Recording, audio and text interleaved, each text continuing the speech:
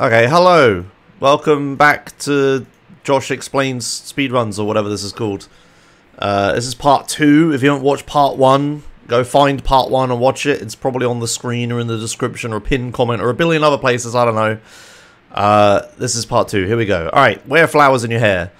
So, this is the first mission of San Fierro. It's like a tutorial mission for, like, the map it shows you like where a bunch of important places are, like the police station and the hospital. You know, places you're gonna go to and then be disorientated.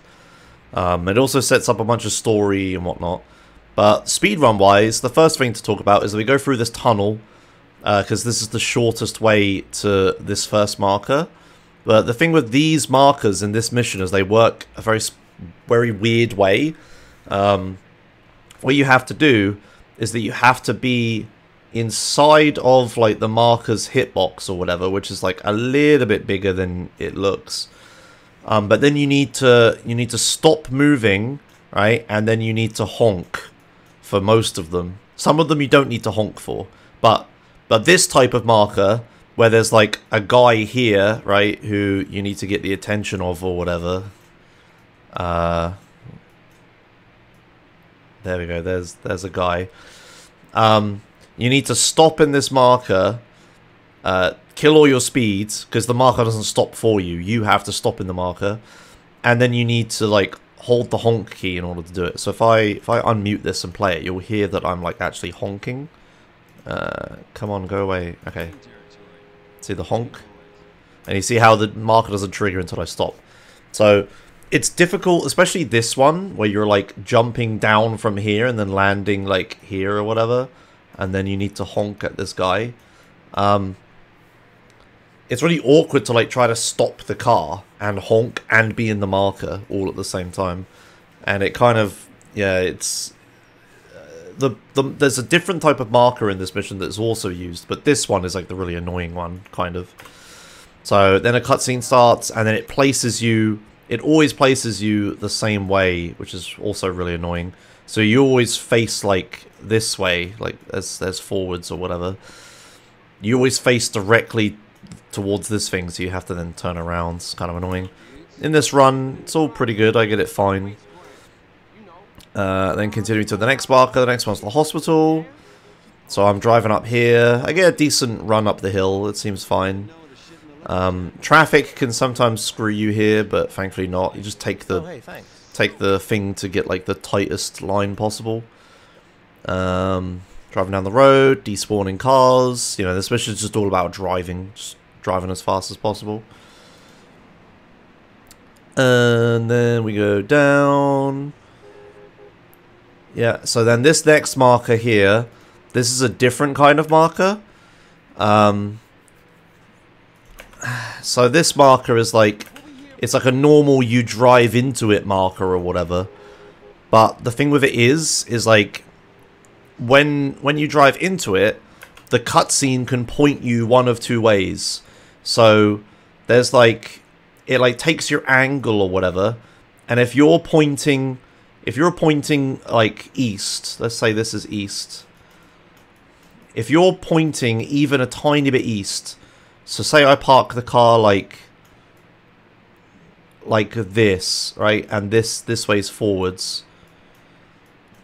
Say I park the car like that, so I'm pointing like mostly south, but a tiny bit east. After the cutscene, it's going to point me 100% east. And then vice versa, if I point west, those are the wrong way round, aren't they? Those are the wrong way round. Whatever. if I point east, this is west. Um, because north is like here. Uh, if I point west, like even a little bit, it's going to point me all the way west. But if I point east, even a tiny bit, it'll then turn me around. And after this mission, I want to turn around and drive back out this way. So in an ideal world, you would like turn the car around and hit the marker from the other way to like then be pointing this way at the end of it. But the problem is this marker hits, this triggers as soon as you hit it. You don't stop it or anything. So it's like really annoying, but it's kind of just better to just drive straight into the marker and just trigger it like this. And then deal with the whole turning around afterwards. Um, I have experimented with turning around here and pointing the other way, but yeah, it's like you waste so much time just messing it up. It's not worth it. And yeah, in this run, I just don't bother. I, I haven't bothered in a while. Alright, then drive up here. This is another honk marker. But it's another one of the it's another one of the 50-50 pointing markers. So if I take this line, uh, we got we got north and south. If I point a, even a little bit south, I'll get pointed 100% south down this road. But if I point even like a little bit north, I'll be pointing 100% north after the cutscene. And I want to be north because I want to go this way after the cutscene. So I like, and also it's another, yes, I have to manually stop in it and I have to honk. So this one I like spin. Do you see I like I drift right before the marker as the keyframes die. I drift into the marker so I'm pointing this way because obviously you're coming in it at like a this way angle. But I just stop in the marker and honk. And then if you see after this cutscene, I'll be pointing like pointing 100% this way. Do you see? Uh, the video is still really dark, and I don't understand why. It's kind of upsetting. Whatever, hopefully that's a little bit brighter this time. Anyway, driving on the next one. The next one is another, like, non-honking 50-50 marker. So, I'm getting a little unlucky with traffic here, but that's alright. Managed to get around. So, you can see I'm taking a wide angle here, right? Like, if I go back a bit... Um if I go this way here, and I can I can use the next frame button, which I forgot existed last time. So you would think, as my cat screams at me, uh, you would think that the best way would just be straight on like this, obviously. Um, but it's another yeah, it's another 50-50 marker. So you've got you got east and you got west, and I want to go west after the the cutscene. So what I'm gonna I'm doing is I'm doing all the way around like this and then pointing just a little bit west as I hit the marker. Um, but this is like another insta trigger marker, so I need to be careful. But I'm gonna go around like this and then spinala like that. You see, and then I'm pointing west. I didn't I I span a little too much. I didn't have to do as much as that. I didn't quite get the angle right. Like I wasted a lot of time turning when I didn't need to, but it's fine. I got I got around it. It's all good. Alright, and then driving. This drive's a little awkward because on this one I need to go across like you've got the you've got the construction yard here on the mini map down here. Uh, and I need to drive like diagonally across it and go down this road. But the problem is the like the hills, the topography of the place is really annoying. So you've got like this hill here that has like this bit here like this. Uh, and then there's like a big drop down here that leads to the garage. And if I fall in that, it's a real pain in the ass to get out. But then you've got like another bit that goes like that. And there's another drop down here. And there's all sorts of bumps and crap here. So driving across this is really awkward. Um, I think you can see in my car, like, gets really airborne. But I get around it. But it's also awkward because after this I need to go to the garage as well. But I have to go down that big drop. Right, this is another 50-50 marker, but with a stopping and honking marker. So again, I'm taking a wide angle and I'm going to turn around and then honk. You get the idea by now. There you go. Again, I'm turning around too much. But specifically with this marker, you kind of want to turn around too much. Because if I if I if I just let's say if I draw the 50-50 line again, if I just barely face north, right? I run the risk of just running zero over, which would fail the mission if I kill him.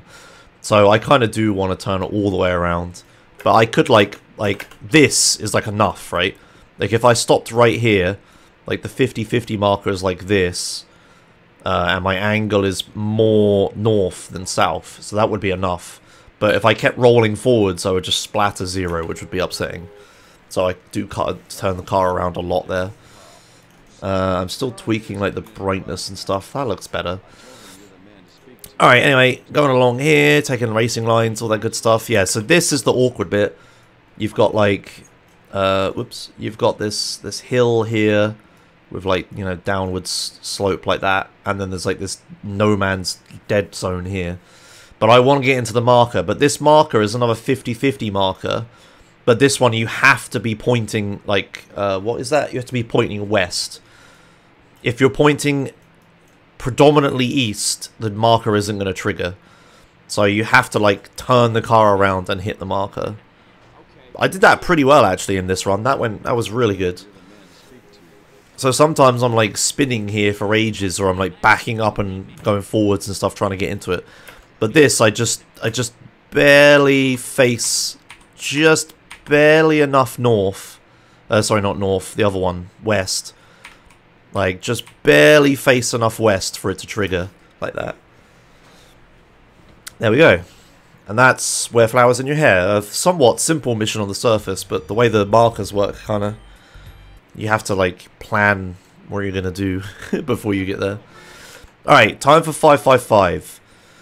So in this mission, I'm going to go to a place and then uh, I need to kill the, the valet for his clothes or whatever. But but during it, I'm gonna wait for the DA to turn up with his vehicle, um, and then you have to like steal the vehicle or whatever and drive it back here. But worry about the first part for now, which is stealing the vehicle. In ye olden days, you would just kill the valet, go back up, and then wait for the DA and the DA would take absolutely forever to get to the, the parking spot. So what you would do is you would go to like you would go to the ocean and swim for a bit to train lung capacity, which is a thing we'll get into later. Uh, and then you'd come back and then you'd run all the way back up to the valet thing before the DA got back. And that was good because you could train lung capacity during the down times. You wouldn't lose any time. But then people found out that it was actually possible to spawn the valet quicker. And to my understanding, what you need to spawn the the the DA, not the valet, sorry, what you need to spawn the DA quicker is is three things. You need to you need to park a car that the valets will spawn. I don't know why I drew lines. You need to you need to park park. I, am not gonna write this down. You need to park a car that the, the valets can, can go park themselves. You need to put it in front of them. You need to push the valets backwards towards the building so that they have to walk towards their standing point to wait for cars. And then you need to, when you when you start waiting for the DA, you need to look a specific way to get him to spawn in the right place. Um, the thing is, valets cannot park cars with submissions like taxis. Uh, so I need to... And they can't park bikes either. So here, I'm looking for a specific vehicle. Like, a, yeah, Clover's good. I need a specific vehicle that the valets can actually park. So I'm driving up, uh, take a specific route through these like triple buildings here. It's just like the, you know, this this is basically like a road, but there's no cars on it, which is good, isn't it? leads me like straight down this northern road here. Uh, driving, driving, driving. Hit this corner. There's another marker here. So, as soon as I get into this marker, we watch a little cutscene. I play a replay like usual. So, yeah, so here I'm going to do the thing where I'm going to push push these valets. So, so if I...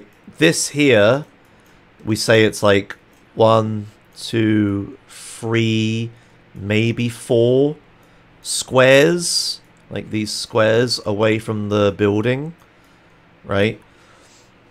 Keep that in mind. So they they're, this they're like four and a bit squares or three or whatever tiles away from the thing.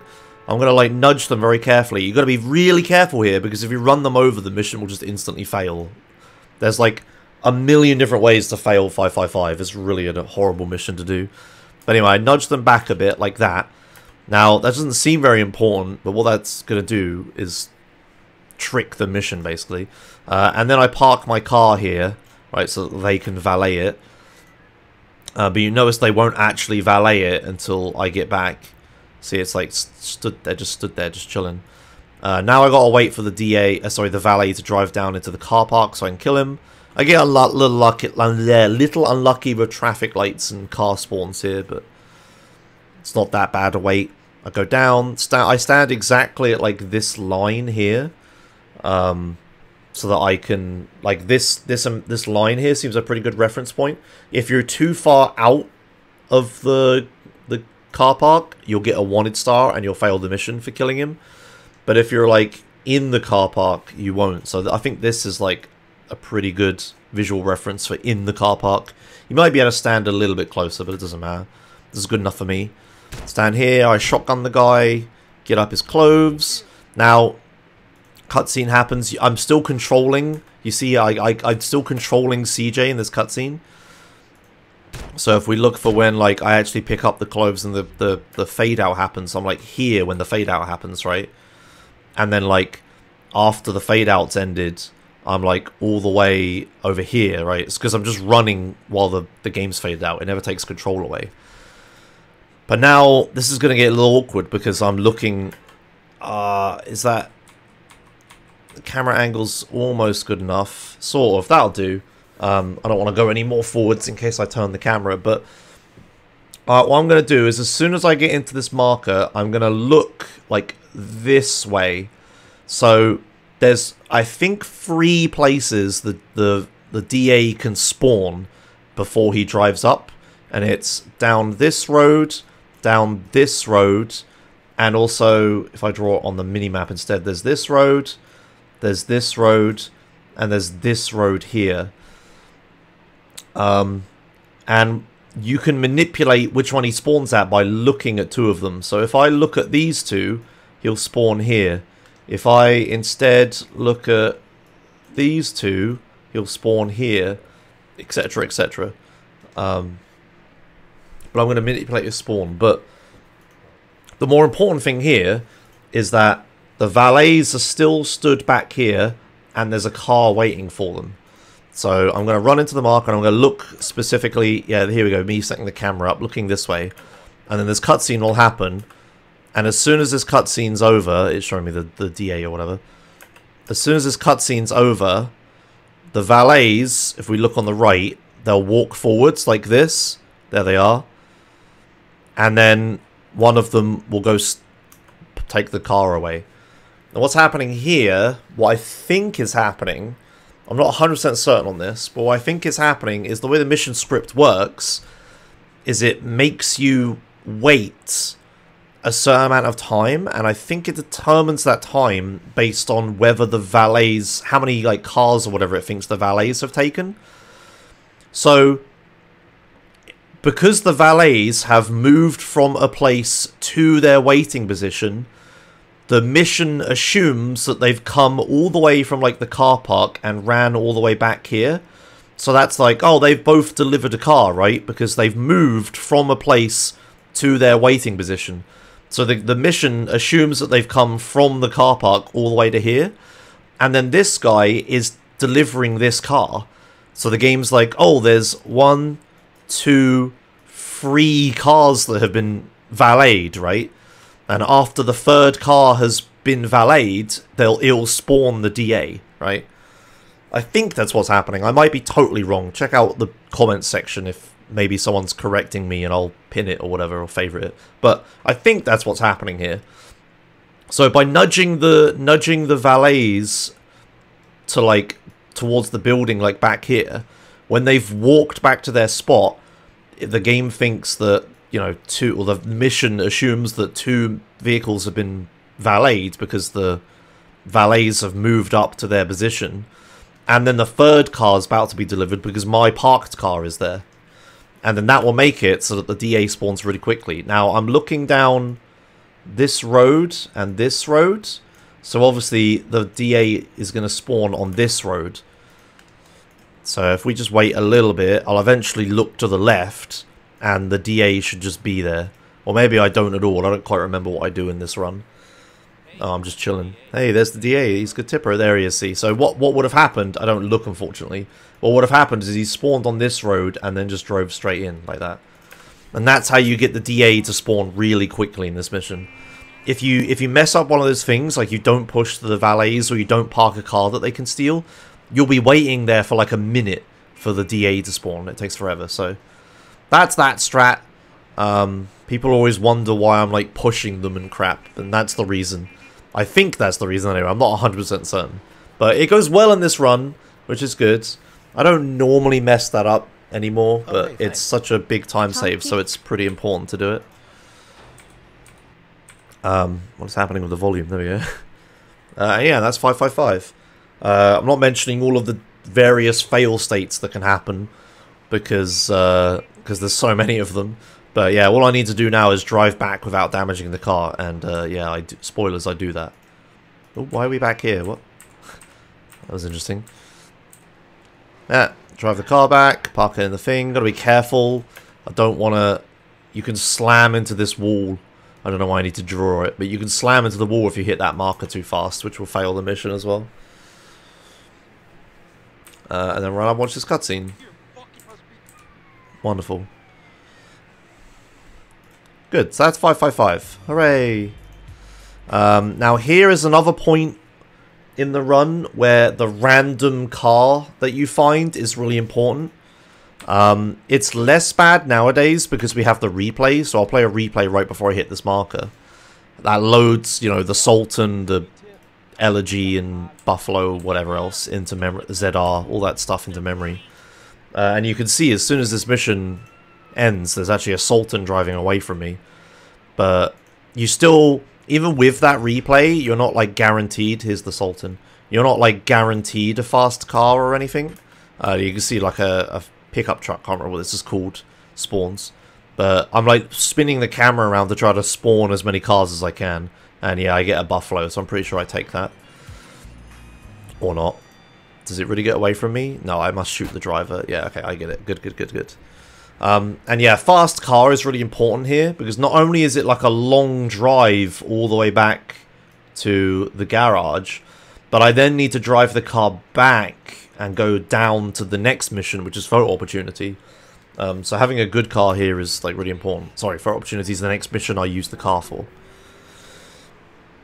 There is another weird effect that can happen here, where if an NPC is trying to drive into the valet place, you will not be able to steal the car. It's like you press the enter car button right next to it, and CJ just ignores you and nothing happens. Uh, it's really weird, and it's because they're trying to get valeted for whatever reason that makes the car unstealable. But the solution to that is to just shoot them in the face, which is why I just shoot the buffalo in the face here. Um, even though he's driven past the valet thing, I'm just like, nah, screw that. Anyway, get the buffalo. Yeah, so that's another little side note thing. Um, what's next? Yeah, deconstruction's next. Let's see. So, yeah. So here I I mess up in this run. It looks like, yeah, I land that. The buffalo's so tilty. but here I want to park the car, like, on this road, roughly. Um, because, yeah, I want to use it for the next mission. I don't want it to despawn. And I also need to answer a phone call anyway. So this way, if I park the car, like, here, I can, like, get out of the car, run to here, answer the phone call, keep running, and then put the phone call down right as I run into the marker. If I were to park the car here, I'd have to drive a little bit further, and then I'd either skip the phone call, which I don't want to do, or I would just stand here and wait for it anyway. So it's actually better to park a little bit earlier and then, like, take the multiple steps of the phone call before I hit the marker. It's, like, mildly faster to do that. So I'm, like, trying to park the car on the road here. And yeah, here's the phone call, and I, like, answer it. Fortunately, I get out of the wrong side of the car, which is kind of annoying. But you can see, right as I hit the marker, I put the phone call down, so I can actually enter it. You can't trigger the marker while you're putting the phone call down. Alright, this is deconstruction. Uh, you've got a bunch of portables you need to blow up. Um, I don't pull this very off very well in this run, but what I'm going to do is I'm going to run up here, switch to the rockets, which I got in Are You Going to San Fierro for shooting the helicopter, and then what I'm trying to do is it's very difficult to see, but you've got like you've got like this building here, right? You see this building? And behind the building of this square here on the minimap, it's like here. You've got one of the, the portables that you need to destroy. Um, and right here, there's a tiny, like, open window thing that has the portable visible through it. What I'm trying to do is shoot a rocket through that and hit the portable. I'm not super great at it, and I mess up in this run and I don't get it. Uh, but there's a backup for it that I do. But yeah, it's like a pretty precise aim. You can see I like I try my best. It's so fast, obviously I can't really show it, but I think I was a little too far to the right there. But yeah, I'm trying to destroy, because this portable is like the furthest away one, and it's a real pain in the ass. Um, but I, I shoot that one. Uh, the thing with the portables is that if you use explosions, you actually need to hit them with two explosions to get them to blow up. Now, this portable that I shot, I can blow that up with one rocket because it has a bunch of like, if I if I play the video a bit, uh, you see how this one blows up. You see these red barrels, these red barrels here. These are explodable. So if they get hit by like explosion anywhere near them, they'll blow up and they count as another explosion. So this portable here that I blew up with a single rocket actually has, I think it's actually a car next to it that blows up. I don't know, there's something there that causes a secondary explosion. Um, let's have a look again. Yeah, I shoot too far to the right there. There's there's something here that causes a secondary explosion, which allows the rocket to like blow it up in one go. But yeah, the reason I shoot only like these portables with rockets, like uh, this one and this one, is because they're the ones that have like explosive barrels next to them that I can do. Uh, this second one here does have explosive barrels next to it, but I'm so close to it that I can just shoot it with a shotgun and it just blows up. And it's like, I get to save a rocket for later. So now I've destroyed, like, in ideal world, I would have destroyed three portables already. Uh, and then you've got these three left. Now, the other way to destroy the portables is by hitting them with a, a heavy vehicle. Uh, and thankfully, you can use like the, the bulldozer, which is like here, just off screen. But that's really slow. But thankfully, the cement mixers count as a heavy vehicle as well. So you can run them over with this. You just need a lot of speed. So I try to like... What I'm doing is I'm hitting them like on the side. So I could just like... I do this... I could just like hit them like right on the edge like this. But then that will slow me down loads. And the way the game is detecting whether I've I've hit the thing heavy enough or not is it doesn't actually matter how heavy the collision is. So say you had like say you had like a wall like this, right? Or sorry, I had a wall like this, yeah? And you have a car that's going like 100 miles an hour or kbh or whatever, it doesn't fucking matter, 100 whatever. If you drive past the wall like this and just barely scrape the side of it, you're not going to do that much damage, right? But if you drove straight into the end of the wall like this, you're going to do like a shit ton of damage. Like that's a ton of kinetic energy or whatever. That's how physics works and people understand that, right? Like scraping the wall of a thing is way less bad than like hitting it head on. But the thing with this game is that that's not how the calculates collisions. It calculates collisions by if you touch the object, it will look at what speed you're doing and use that for the collision. So in my wall example, if I'm doing 100 with a car and I just barely scrape the wall, the game assumes that it's the same force as if I just drove straight into it at 100 miles an hour, right? And it uses like that kind of like level of collision and stuff for the the, the damage detection or whatever. So with these porta botties, or porta potties, with these portables, it makes physical sense to slam into it like that and not just graze past it. But in the run, it's better to graze past it because I keep all my speed and it gets destroyed anyway. So this one I do drive quite heavily into, but you can like really just barely tap it. I don't think I actually do any of these in this run, yeah. But you can just barely scrape past them and they'll fall over. Anyway, there's those three. Yeah, you just drive into them and keep your speed going, so you need high enough speed to destroy them. Uh, yeah, unfortunately I missed the rocket shots. There's one portable left.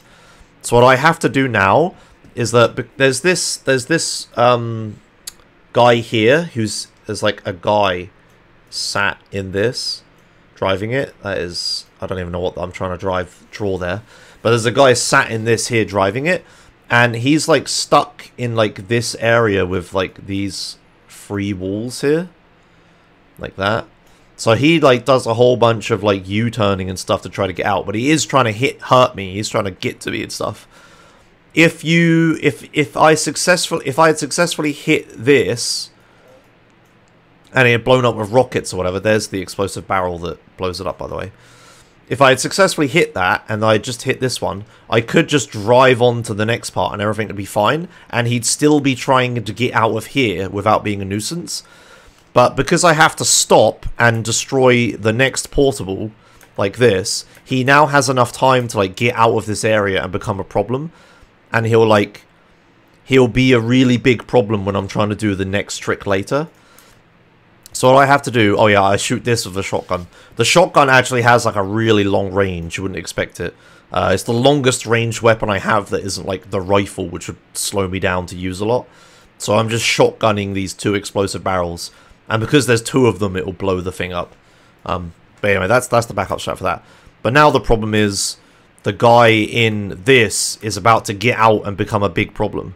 So I just have to kill him, which is like slow, cost time. But I have to kill him in order to make this next trick work. So if I had managed to shoot the portable here through the wall or whatever with the rockets, not only is it just faster because I don't have to shoot it after, it also means I can ignore that guy, which also saves time.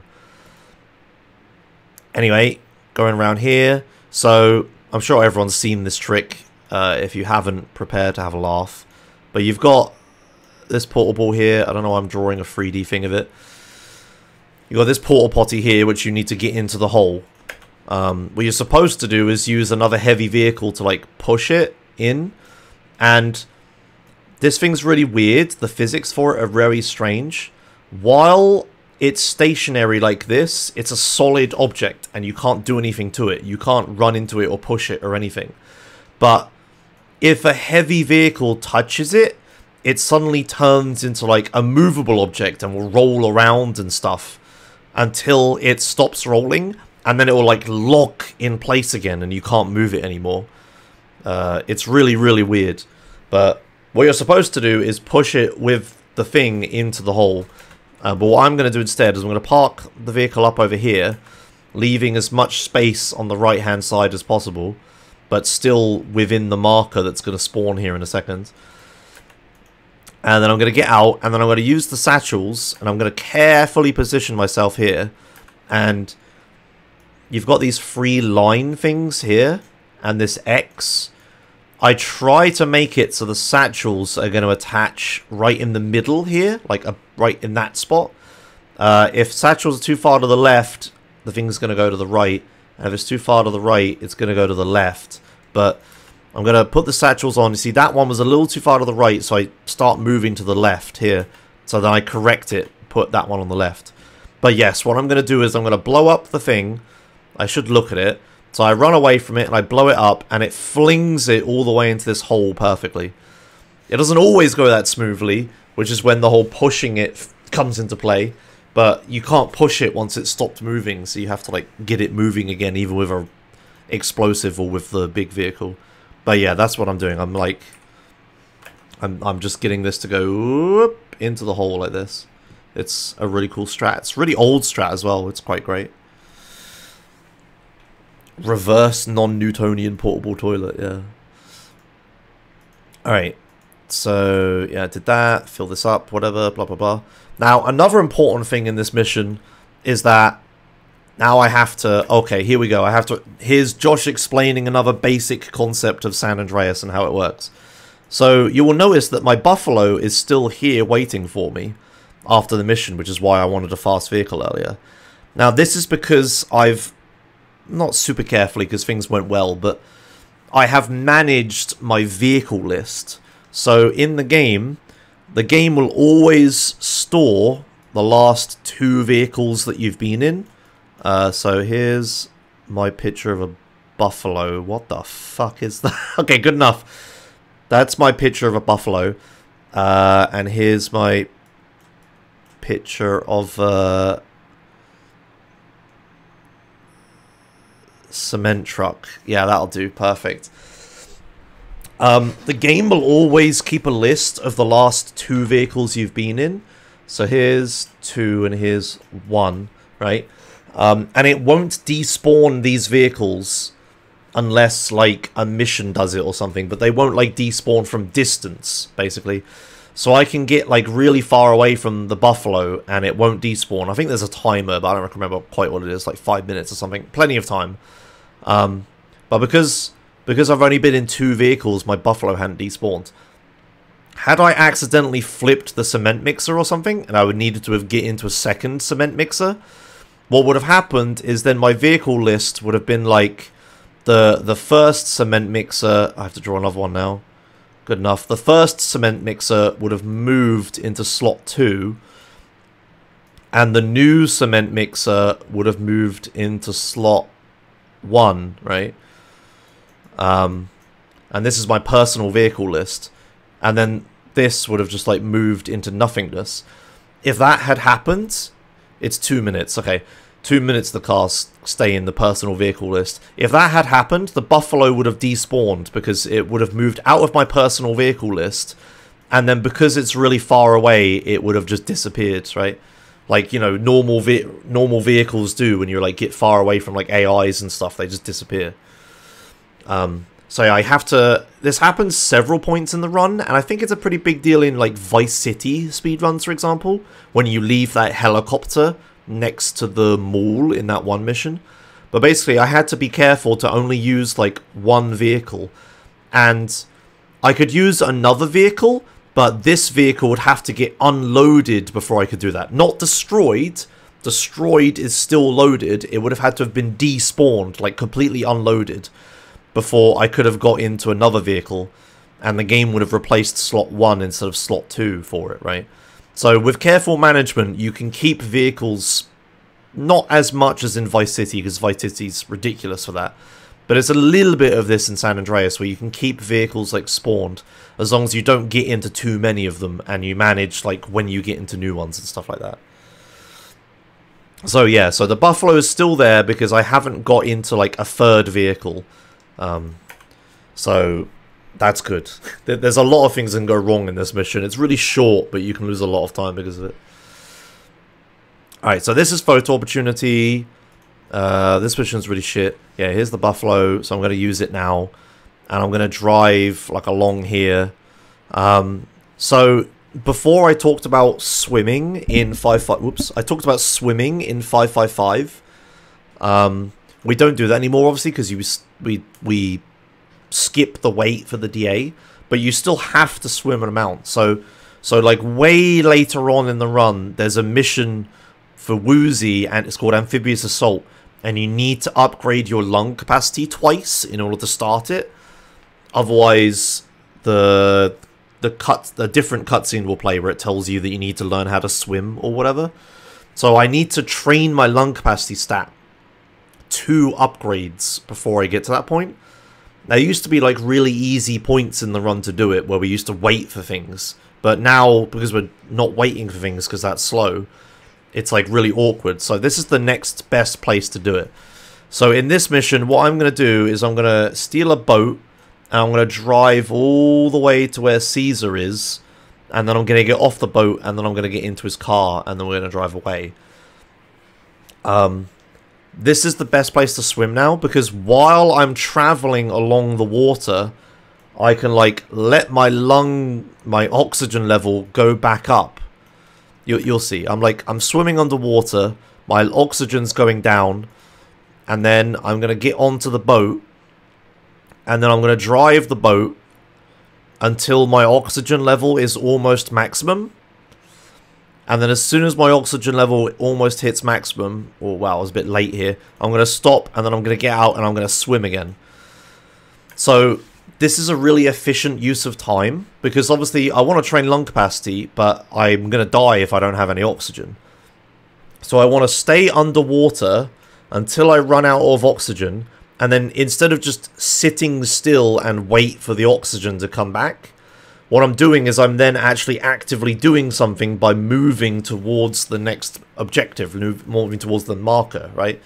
So it's a really good use of time. I could just drive all the way there, but that, that would be the fastest, but I wouldn't train anything.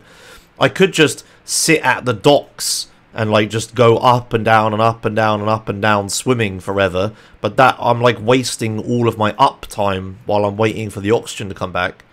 uh, and this is like the best middle ground. Um, so I'm actually like traveling and achieving stuff, and I'm gonna be able to upgrade my lung capacity while I'm waiting, while I'm doing it. The next thing to explain here is the specific way in which I'm swimming. So, if you if we look here, look how fast my oxygen goes down while I'm swimming. You see it's decreasing very quickly. If I go if I go back a bit, if we look at the whoopsie, if we look at the time, I start swimming at like 01, right? 0102ish. And then the oxygen has fully depleted all the way by 10. So that's like 8 seconds of swimming, right?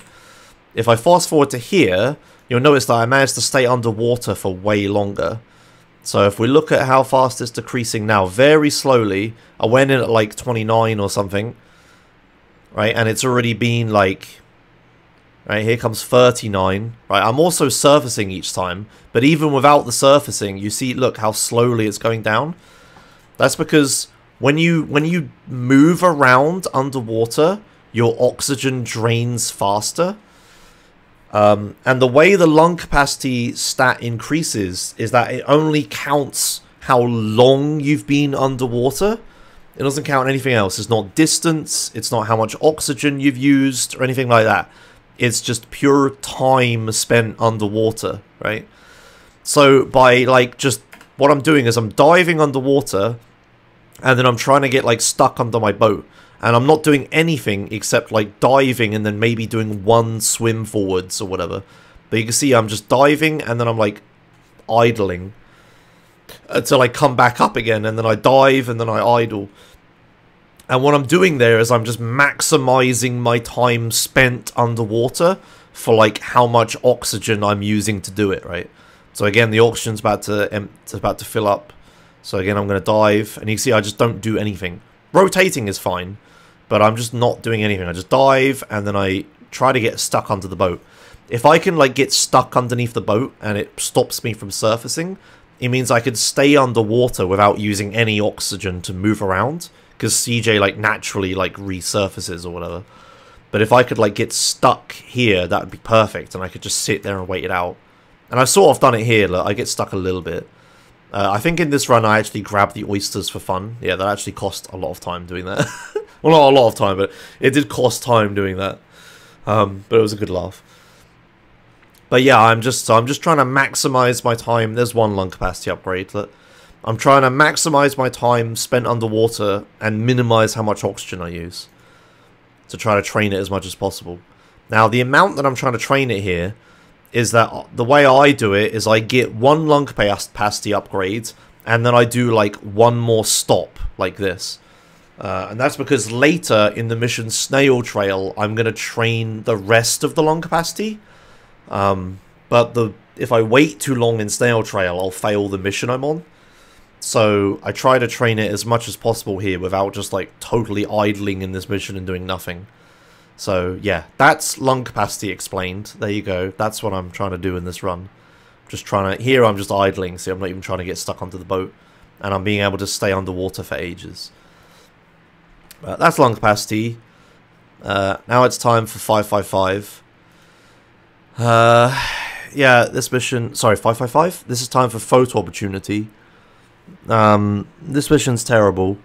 Because I have to drive all the way to this place, and then you have to drive all the way to another place.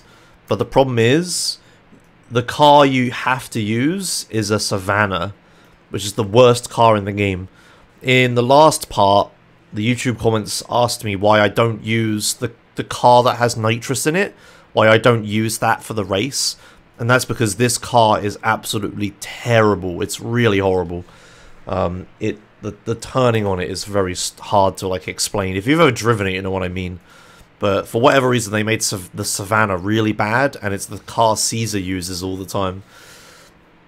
To add to that, it just started raining, so now like it's like there's a lot less traction on the road, and you slip around and stuff. You know everything you'd expect from rain.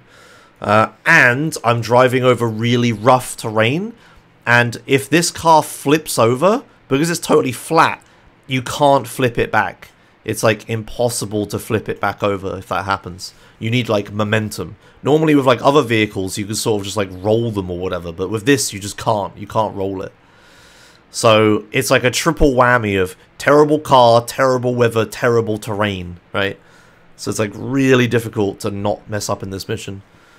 Um, thankfully, a lot of the scary parts have been taken away now through like consistent strats.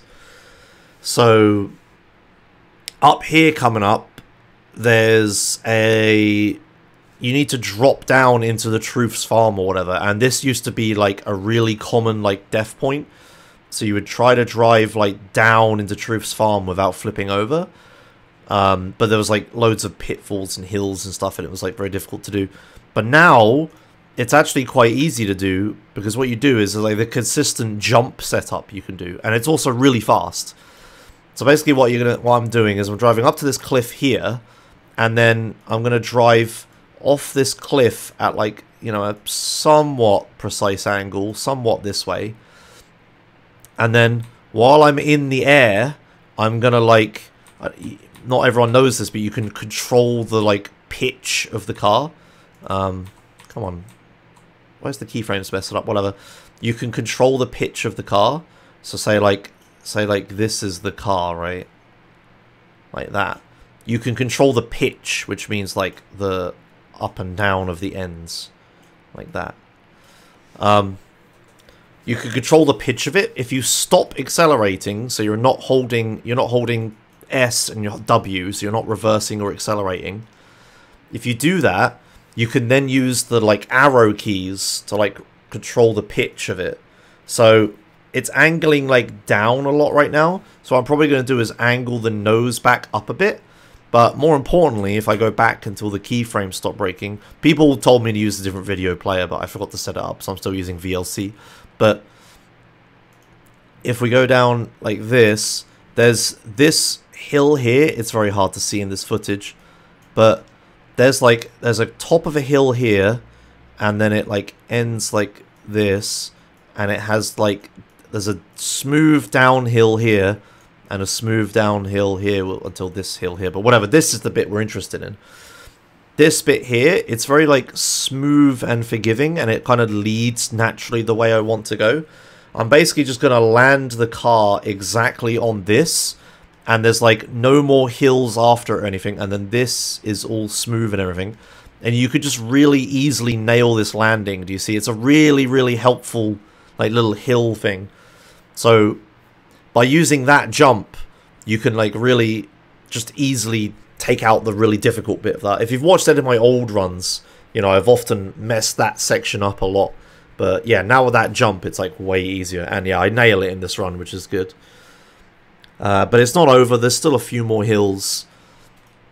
So specifically this here is like full of hills. So I'm not sure what the best way to draw the hills is, but you've got like down like this. And then there's another crest here, which goes up and over like that. And then you've got this bit here. This bit is like relatively flat, kind of, but then you've got like a downhill here. Um, and there's just all sorts of bumps. And if you just hit the wrong hill, the wrong bump the wrong way, it's just going to flip you over. Um, but thankfully I get that pretty good. I do slam in this building though, but that's alright. Uh, but yeah, I don't flip over there and everything's good. Cool. Onwards to photo opportunity. The photo part of photo opportunity. So, not too much to say here. Um, playing a replay after taking a photo can skip the, the like, slow motion part of the photo. I don't know if I actually do it very well in this run. Let's have a look.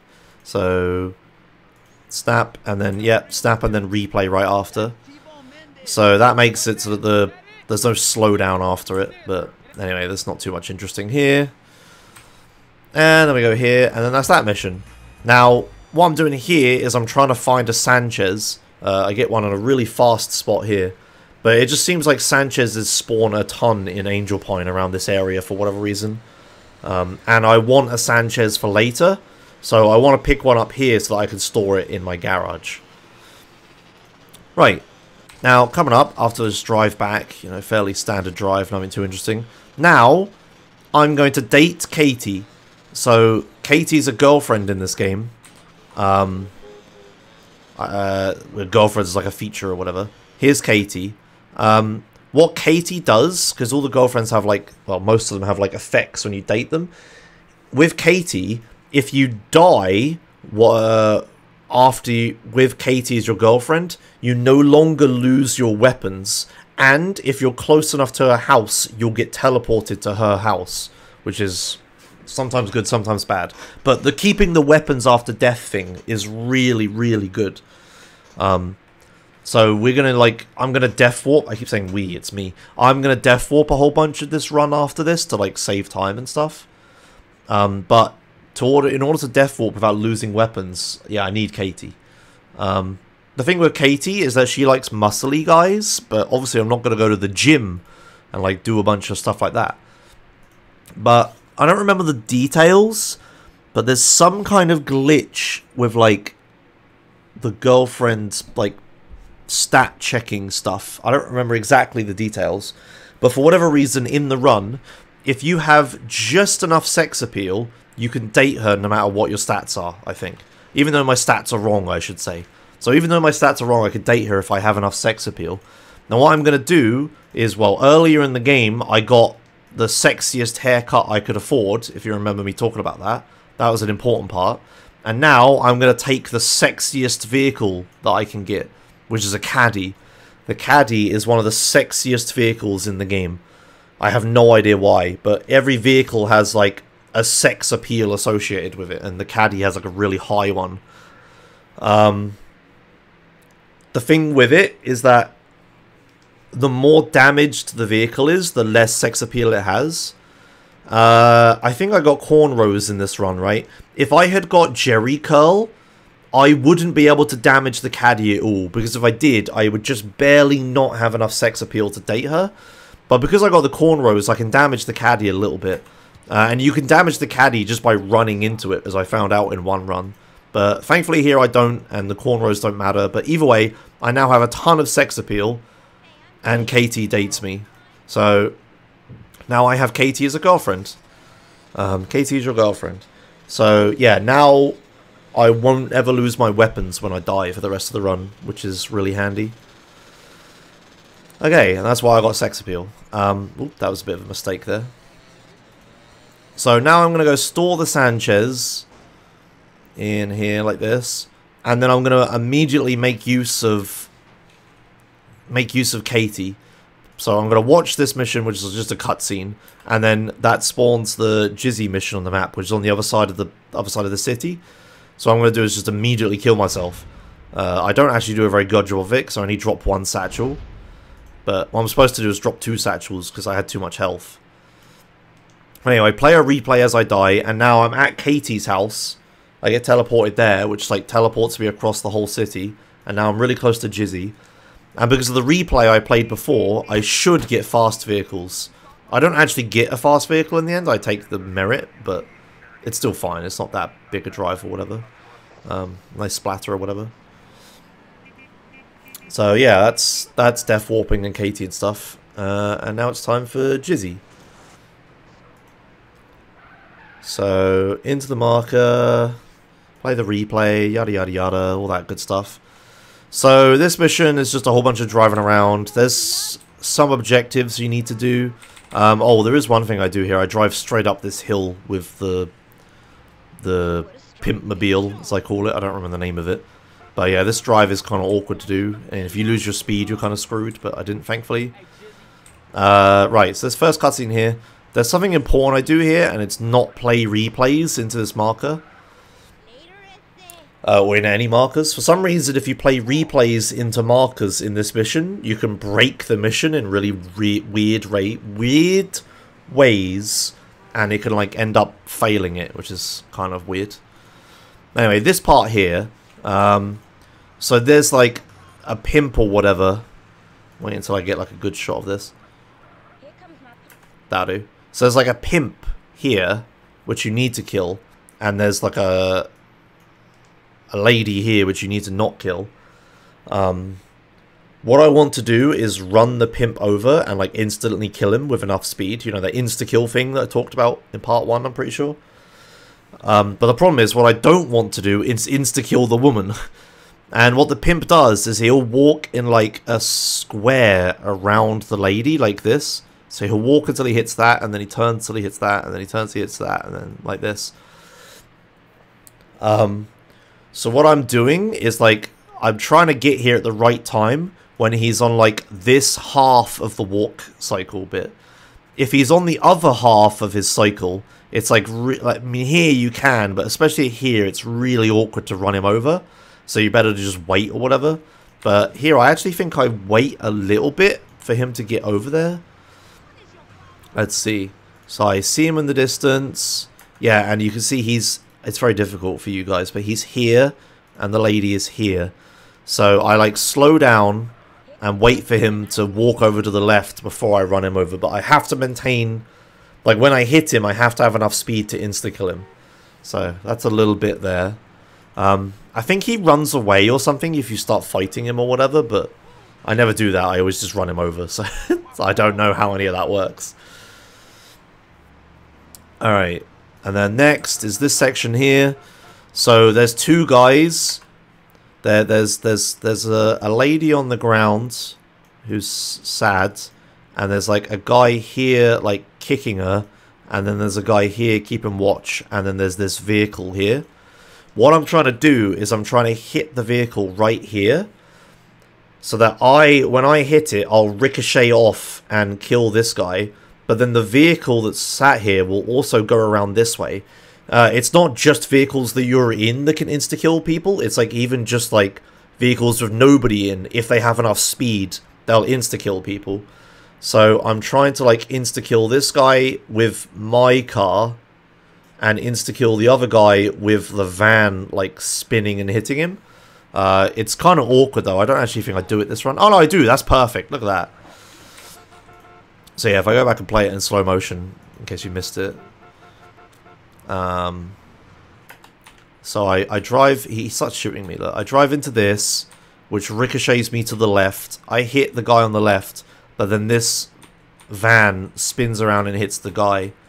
For whatever reason, I never seem capable of killing the woman here. I don't know if she's like invincible or what, but the woman never seems to die whenever I do this. And this one actually went pretty well in my PB here.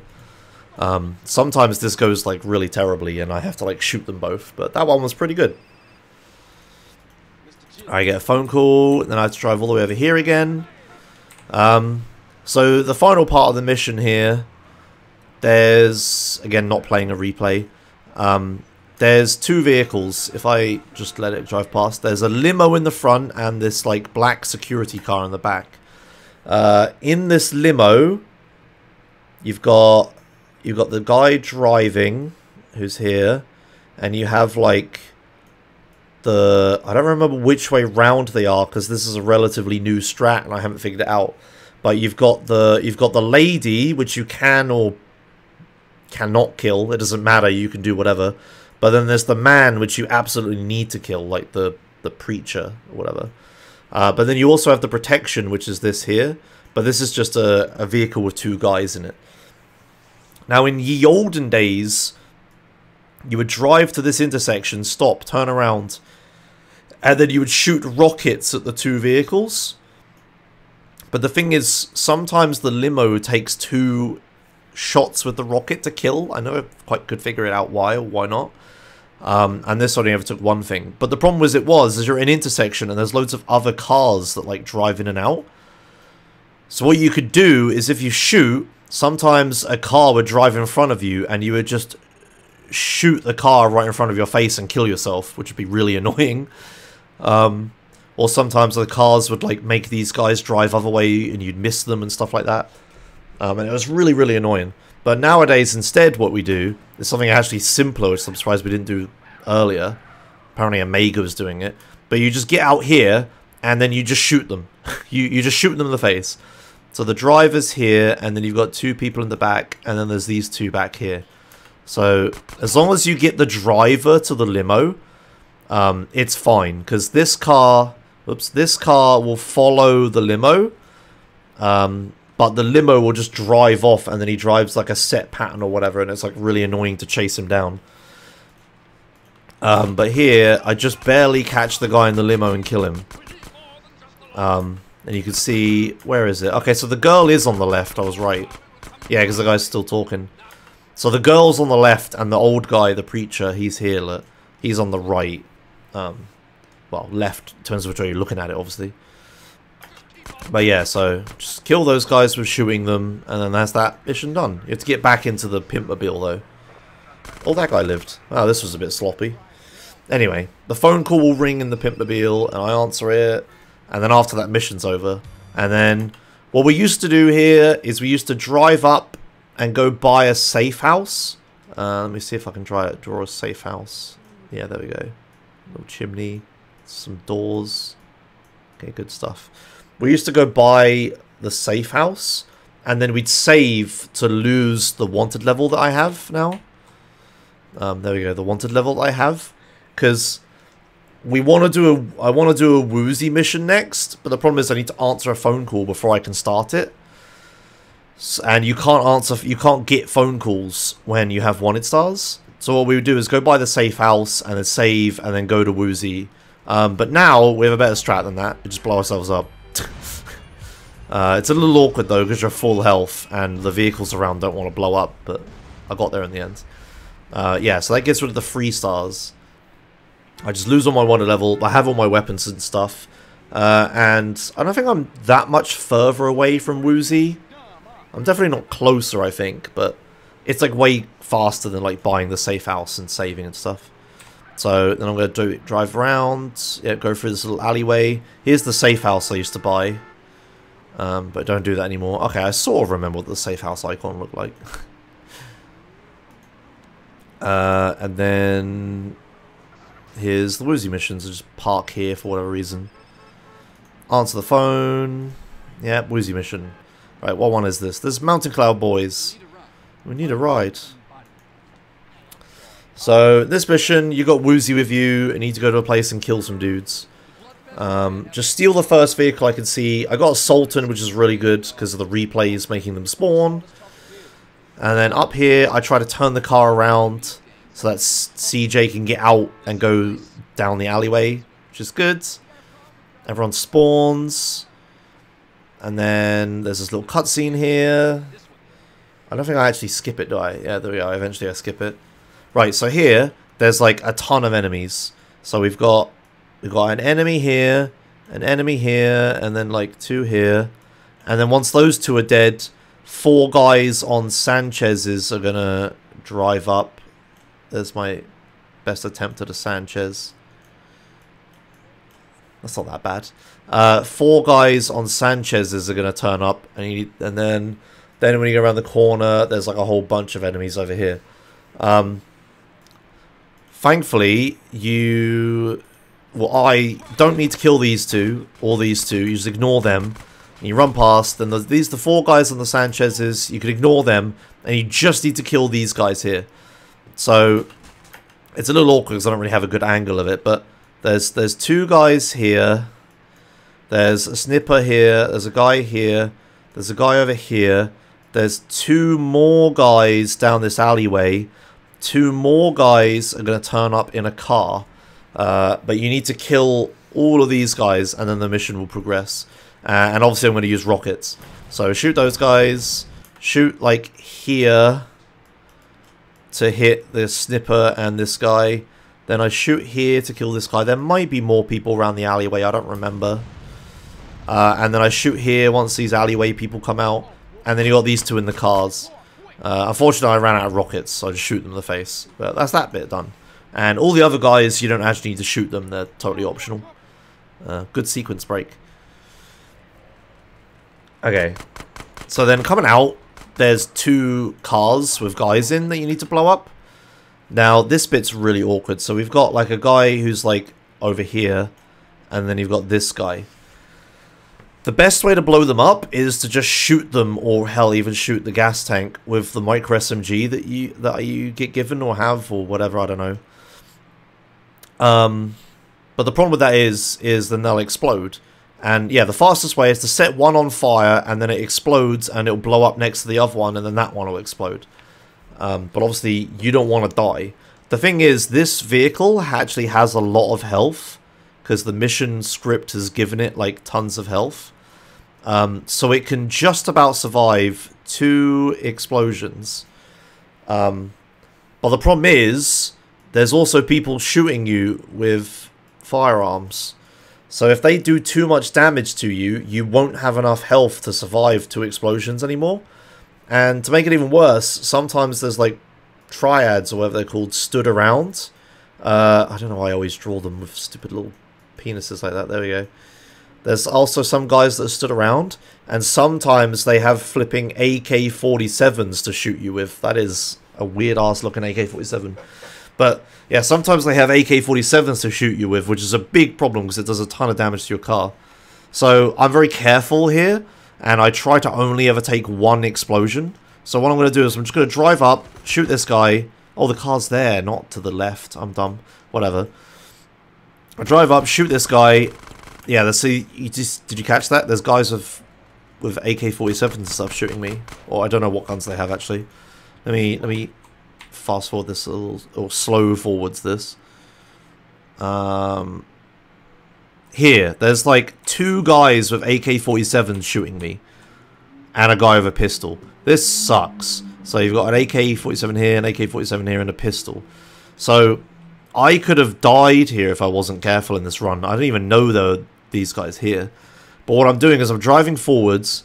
The next marker is going to be like around the corner, like here, um, back where you started. So I'm kind of driving that way as I'm going. But I also need to kill, I mean, you need to kill these two guys. So I'm just shooting that car. I drive away and wait for it to blow up. Um, but unfortunately it blows up right next to me, which is really scary. So now the vehicle is like pretty low health comparatively. So I blow up that vehicle, set on fire or whatever, but thankfully he doesn't blow up next to me. If that car had blown up next to me, I would have died, for sure. So the car looks fine, but it actually is pretty low health compared to where it started. Alright, and then that's that mission done. A lot to a lot to it, a lot to all these missions. Alright, except this next one. This next mission, oh no, no, no, not the next one, this, the one after this. Uh, or I don't remember the route anymore, whatever. Anyway, this is Ran Fa Li. Um, again, I'm getting a Sultan, which is good. I don't know why I didn't just take... Oh, no, I don't have a Sultan, do I? Yeah, I had that. Yeah. So I, I get a Sultan, which is good. Another fast, you know, fast car again. You know, I really like this car. It's really good to drive, handles well. Uh, but in this mission, I need to drive to the airport to steal a car or whatever. Um, you need to hit this marker on the outside, and then as you go in, it will spawn the car. Now, here I'm going to do a little thing. Uh, it's a little trick. There's like... So, it's a bit dark, but there's like this curb here that goes around like that. Uh, and then you've got this pillar or whatever. I'm going to drive right into this curb, and then I'm going to bail out. So, CJ will instantly jump out of cars that are in the air but for some reason, cars that are driving, you have to like hold exit vehicle for ages in order for him to get out. But because this little curb here, the car will actually like pop up into the air.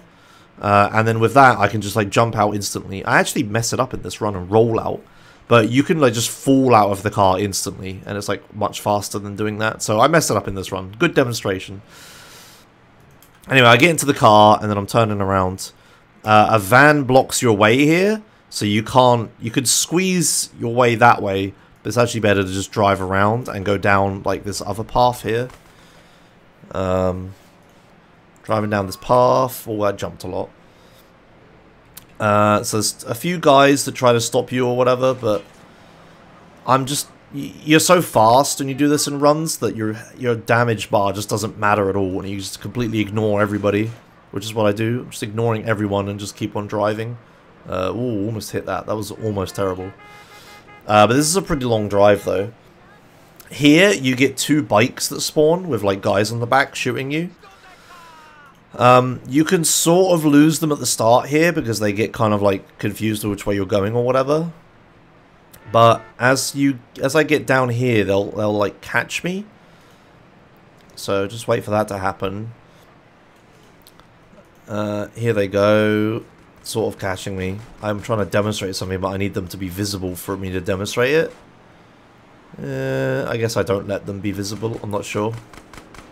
Oh no, there he is. Good enough. So, while they're chasing you, so like here, here's you, right? While they're chasing you, they always try to stay like one on the left and one on the right, and they always seem to keep like this same like lateral distance to your car.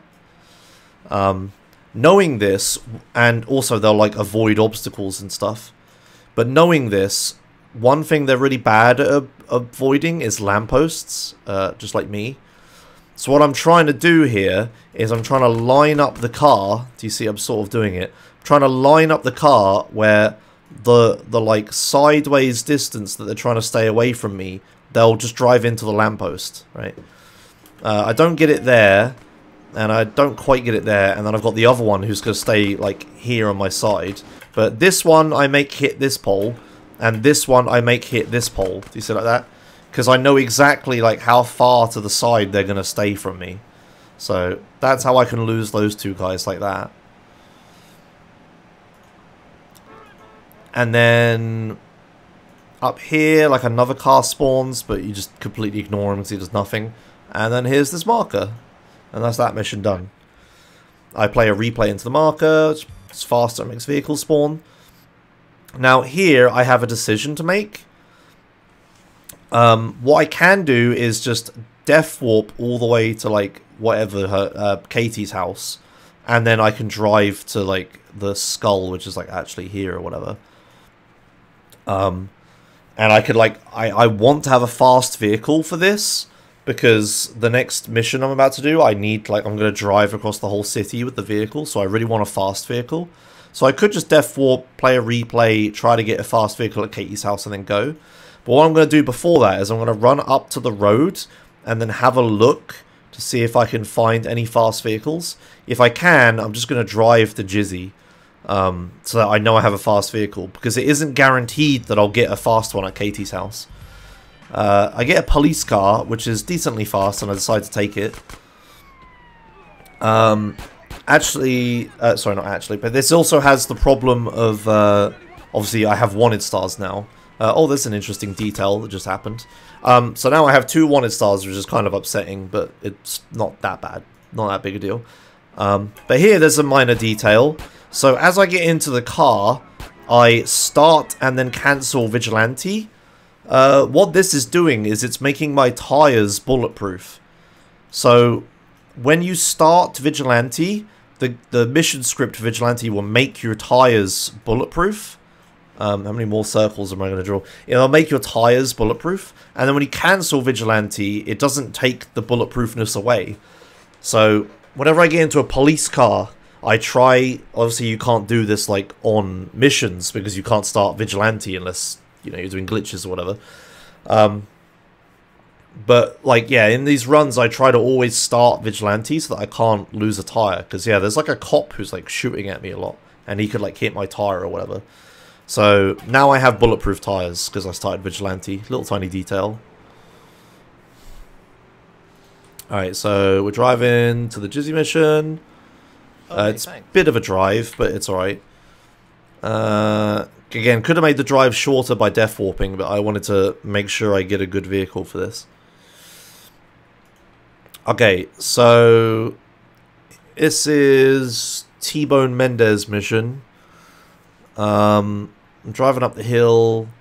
Yeah, so I'm just trying to take the shortest path possible to the place. Uh, and then here, there's a kind of interesting thing that happens. So I jump out of the car on this hill here. Oh my god, that's long. I'm trying to jump out of the car on this hill here. And you've got like, this, uh, this is a decent view of it. You've got three bikes here. And each bike has a little package on the back of it. And like a person riding it. Normally in this mission, what you do is you drive towards this, and there's like a big invisible like distance check around it. And as soon as you get inside this distance check, a cutscene will happen, and then the guy, uh, four dudes will drive away in like different directions. Uh, not quite like that, but that'll do. Four, the four dudes will drive away in different directions, and then you need to chase them all down and get uh, the packages or whatever.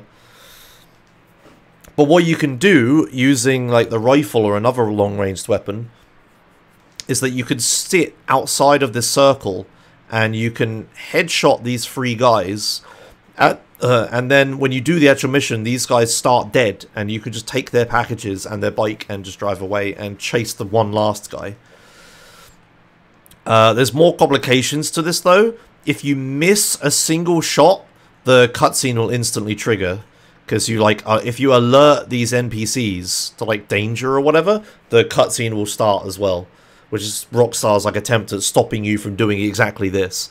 But if you instantly if you headshot these guys without missing the other two don't get alerted. So i have to like very carefully uh, i need to kind of want to show this. I have to very carefully line it up. And again because of that grid system i described the other time where you can only like you can I can only have like my crosshair in like one grid or the next part of the grid or the next part of the grid. Sometimes it's not actually possible to get your crosshair perfectly on their head. So what I have to do is I have to like walk around to like move the crosshair around because I can't do it with my mouse because of the grid system. So here I'm going to very carefully, you can see me move, walking around to like line up with these guys' heads. So I shot those three, the cutscene triggers once you killed the third one for whatever reason. Uh, you get on this bike, uh, and then these three guys are already dead. So I just turn around and take all their packages and then drive after the last guy, who's like conveniently he drives towards Jizzy's house. So that's really good. And yeah, it skips most of this mission without having to like, yeah, don't no longer chasing everyone around or anything like that.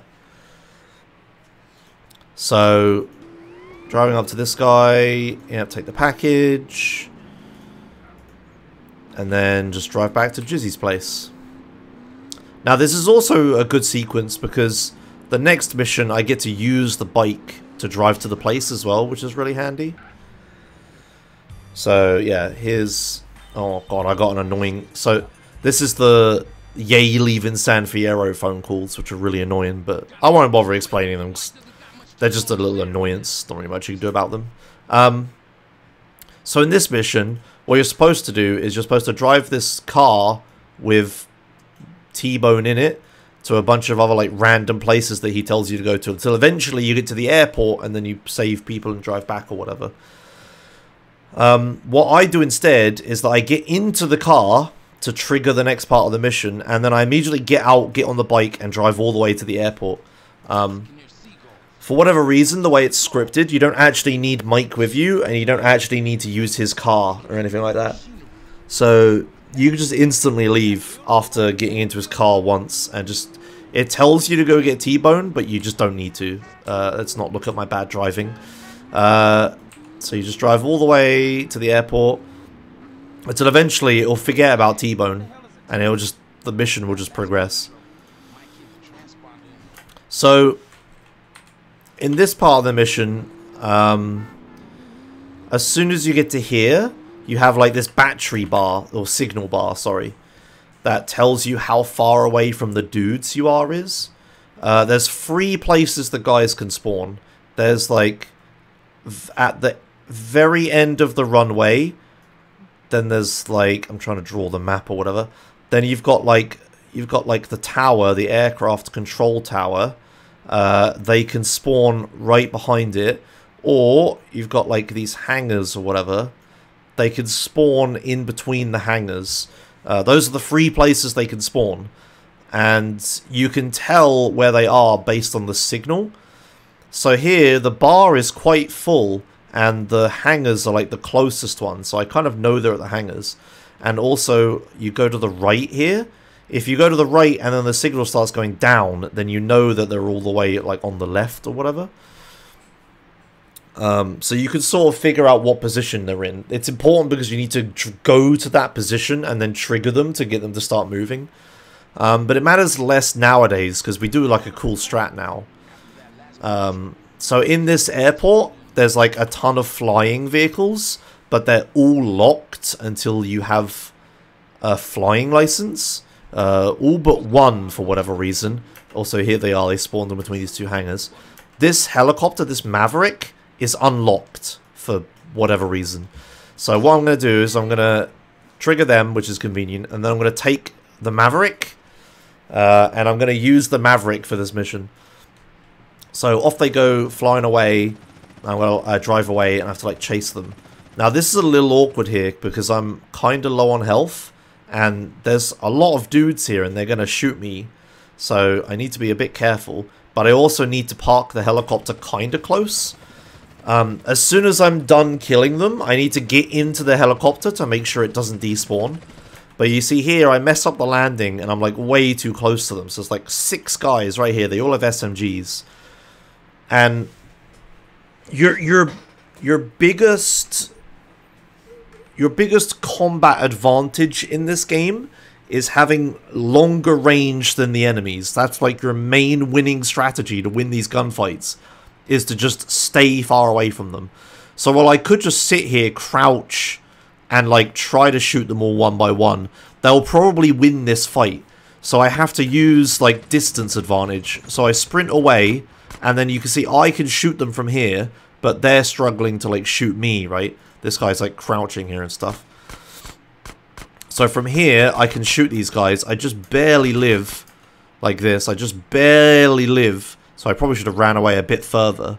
But had this fight gone a little bit worse, I would have been killed. But yeah, distance is your biggest advantage. But the problem is, like I said, I need to get into the helicopter before the cutscene starts to stop it from despawning. So I need to be close to the heli, but I also need to be, like, I can't just, when they stop like this, I can't just land here because there's another distance check invisible circle around them that's like this. And I need to get inside this circle to make the guys come out of the van. It's possible for me to shoot them while they're in the van, I think. Uh, but I'll probably end up killing um, Mike. To, uh, sorry, might end up killing Toreno, uh, who's actually in the van. And if you kill him, you fail the mission. So I had to get within the close circle, but then I had to not be too close because I didn't want to die. But it takes forever to get out of the helicopter. So yeah, this was like a really awkward situation, and I almost died. Um, what I should have done was shoot this guy, but I'm trying to shoot the ones that are like next to each other, right? And also I'm walking forwards, which is really stupid. But that could have been the end of the run right there, and I got quite unlucky. And yeah, I do manage to get back into the helicopter before the cutscene starts, which makes it not despawn. So here it is. So now I need to blow up the van. I just shoot the shoot the gas tank here to blow it up. Uh, and then we're going to use the helicopter to escape. So I've got two stars right now, but I think those are just stars for like killing people and blowing stuff up. But in order for the mission to progress, you need to like leave the airport or whatever. Um, what I need to do is travel far enough west. Um, yeah, that's right. I need to travel far enough west, and then there's like this invisible line again, where if my coordinates get far enough west or whatever, uh, it will trigger. It will trigger the rest of the mission. People will start talking, and I'll get given free stars. Um, so what I have to do here is fly far enough west to trigger that. So I'm just going straight west here. Until eventually, if we watch my stars, they'll go to free and then people will start talking. Um, there is this marker here, but you don't actually need to hit it. All you need to do is go far enough west. So I go far enough west, which is just past this building. Right now. And then it says, lose the heat, get to the Pay 'n' Spray. Uh, and then the guys start talking. So now you need to lose the wanted star. In ye olden days, you would take a bunch of bribe stars, because uh, there's like one under this bridge, and then there's like one here, and then while you drive to Jizzy, you'd lose the last star. Um, but what I'm going to do instead is something really cool. I'm going to use the pain spray with the helicopter. uh, it looks impossible, and it probably should be, but for whatever reason, the collision around the paint spray is really weird. So you've got the door here or whatever, and the the rotor blades are like bigger than the door, but they can fit in. But if you drive into like the side of a building or whatever, the helicopter will hit it and then you'll like bounce off of it or whatever. Or if you stay next to it, you'll like grind up against it and then the helicopter will blow up. But for whatever reason, you can actually squeeze into the paint spray, and there's only a few walls and things you actually need to avoid. So you've got these air conditioners at the top left here, and you've got these like air conditioners here. And for whatever reason, these are the only objects you actually need to avoid. But the problem is the ones on the left are really low down. Um, so it's like a real pain in the butt. But you could just about... You see I'm like going through walls and stuff. But like I'm, I'm like grinding on that air conditioning thing back there, see? But you need to stop the helicopter, land it, and then you get the paint spray to spray it. That's the easy part. The hard part is getting out. So I can't go up or I'll start colliding with like whatever object it is here and that will like destroy the heli. And I can't go up over this way because you've got these things here. I don't know, for whatever reason, up has collision. I don't know exactly what causes it. So, but the problem is I need to reverse out. So you have to like very carefully like lean the helicopter out. And in this run, you see I like collided with this a little bit. In this run, I make this look really easy, but it really isn't. it's actually quite tricky to like squeeze it in there. But yeah, it goes really smoothly. I squeeze the helicopter in. I avoid all of the collision boxes. I haven't been doing this strat for that long, so I might not fully understand how that works.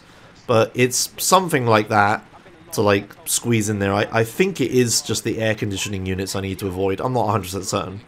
But anyway, this is like kind of fast. Like, it might have been faster to just drive the car out, or a Sultan or something like that, to just drive that out of the the airport and stuff instead. Um, oh, I messed that up here.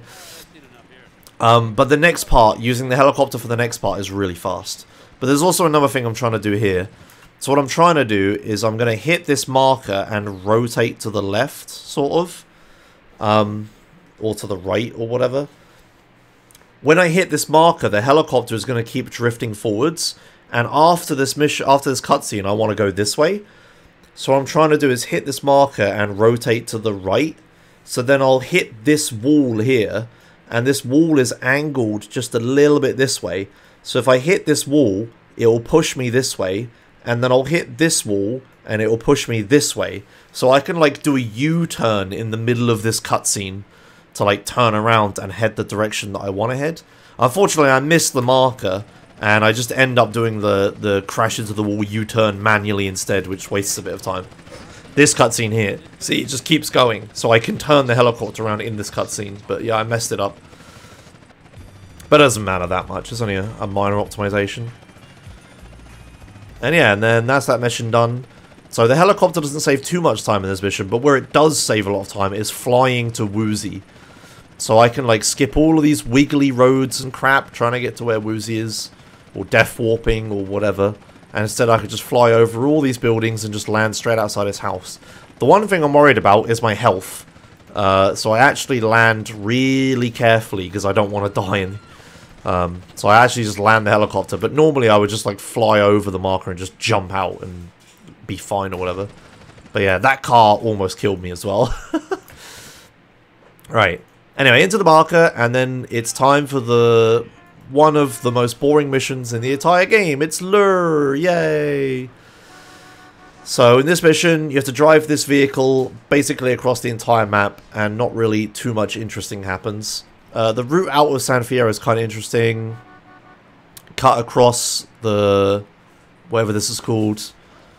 Um, workshop, or whatever, I don't know. What's it? Construction yard. Uh, cut across it diagonally, drive down this road, go down this hill to like gain speed or whatever. Um, and then it's time to set up for like the most interesting strat, the only interesting strat in this whole mission. So drive up the motorway. Now, up here, if I, oh god, that's a bit of a spoiler. Uh, up here, there's like this bit here. As I stop despawning traffic, there's this here, right? Now what you're supposed to do is drive along here and then go across a bridge and then follow this road. Here's the bridge up here. And then follow this road and drive along there. But what I'm going to do instead is just jump across this, this river.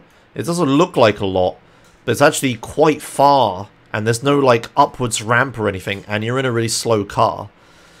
Um, and if we watch, I just barely land it here. If I'd been a little further back, I would have slid into the water. but I just barely land it, uh, the barely land the crucial cut. But what you have to do beforehand is because this car has such terrible acceleration top speed, I'm basically setting up for this trick all the way back here. So here I have to maintain my speed. If I lose my speed, I might not make it. So I'm really aggressively despawning the traffic here to try to like make it so I have a clear shot. If I crash or hit anything, I have to bail and drive around the long way. So I'm really aggressively despawning and trying to set up on the absolute max speed of this vehicle and I just, if we like frame advance, I just barely make it. If this rear wheel had like landed like a little bit further back, I would have just slid backwards into the water instead. So this was really close. I like barely made that. Um, but yeah, that's the only interesting strat in this whole mission. uh, and now we're just driving. Uh, so there's a little there's a little marker over here. Have to hit the marker. Uh, there's two guys that spawn and they chase you, but they're so pathetic that you just kind of ignore them.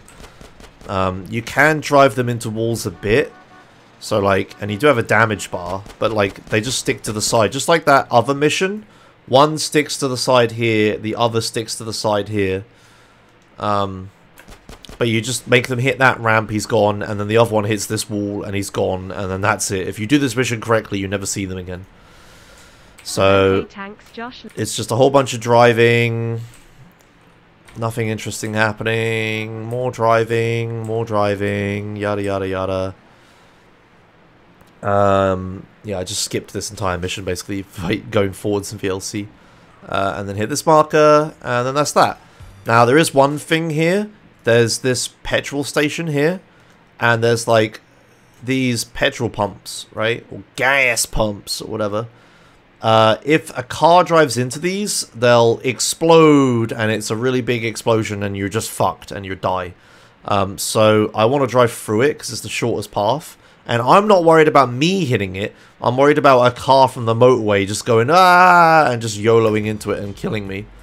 Um, but it sometimes happens, but not this run. but just thought I'd note that. Uh, now I'm driving up to that bit in Angel Pine where we use for the Badlands. There's like a save point here and a Sanchez. So I'm just going to go over here and save at this point. I kind of block myself with the car, which was pretty smart. But yeah, just save to get some health, and then take the Sanchez to drive back with. So, nothing too interesting, just driving, driving, driving.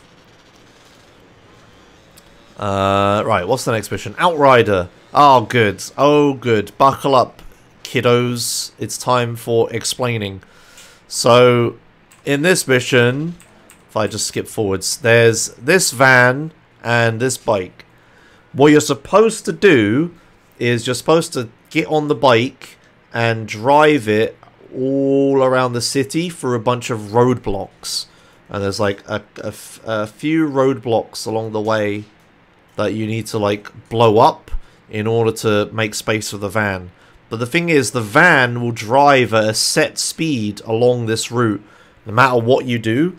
As long as you have got rid of the roadblock before he gets there and he just doesn't stop, uh, you can't influence him in any other way. You can't make him faster or anything. So what we used to do is we would drive along, blow up all the roadblocks, and then we'd go to like the water, get the NRG, and then just swim and train lung capacity. Uh, but we don't do that anymore because we have this really cool skip instead. So if I go back a bit, um, yeah, here's this little jump. There's this little, there's another invisible like, like collision, uh, sorry, distance detections. Once you get close enough to this, a cutscene will start. Um, and then just drive up. So what the game wants you to do is drive into this marker. But what I'm going to do is I'm going to turn the car around and just barely drive up to this marker but not actually hit it. And then I'm going to get out of the car, right? Um, and then I'm going to run over here, pick up the rockets and snipper because those are good weapons. And then I'm very carefully, very, very carefully going to position myself here.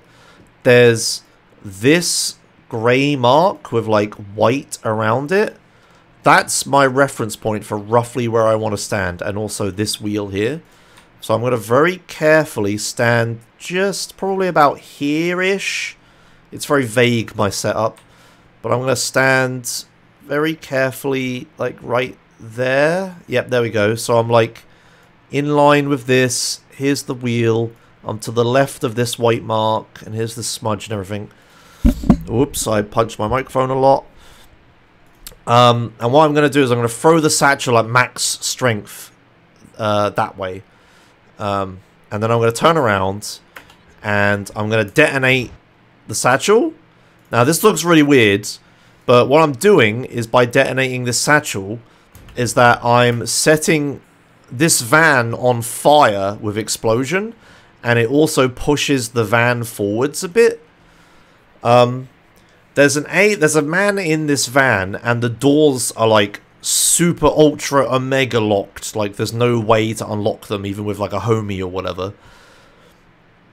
Um but what I'm doing is by having this explosion happen and the van catching fire and the van being pushed forwards, the guy just jumps out of the van. Like you can see he like rolls out or whatever. Okay, you can't quite see it.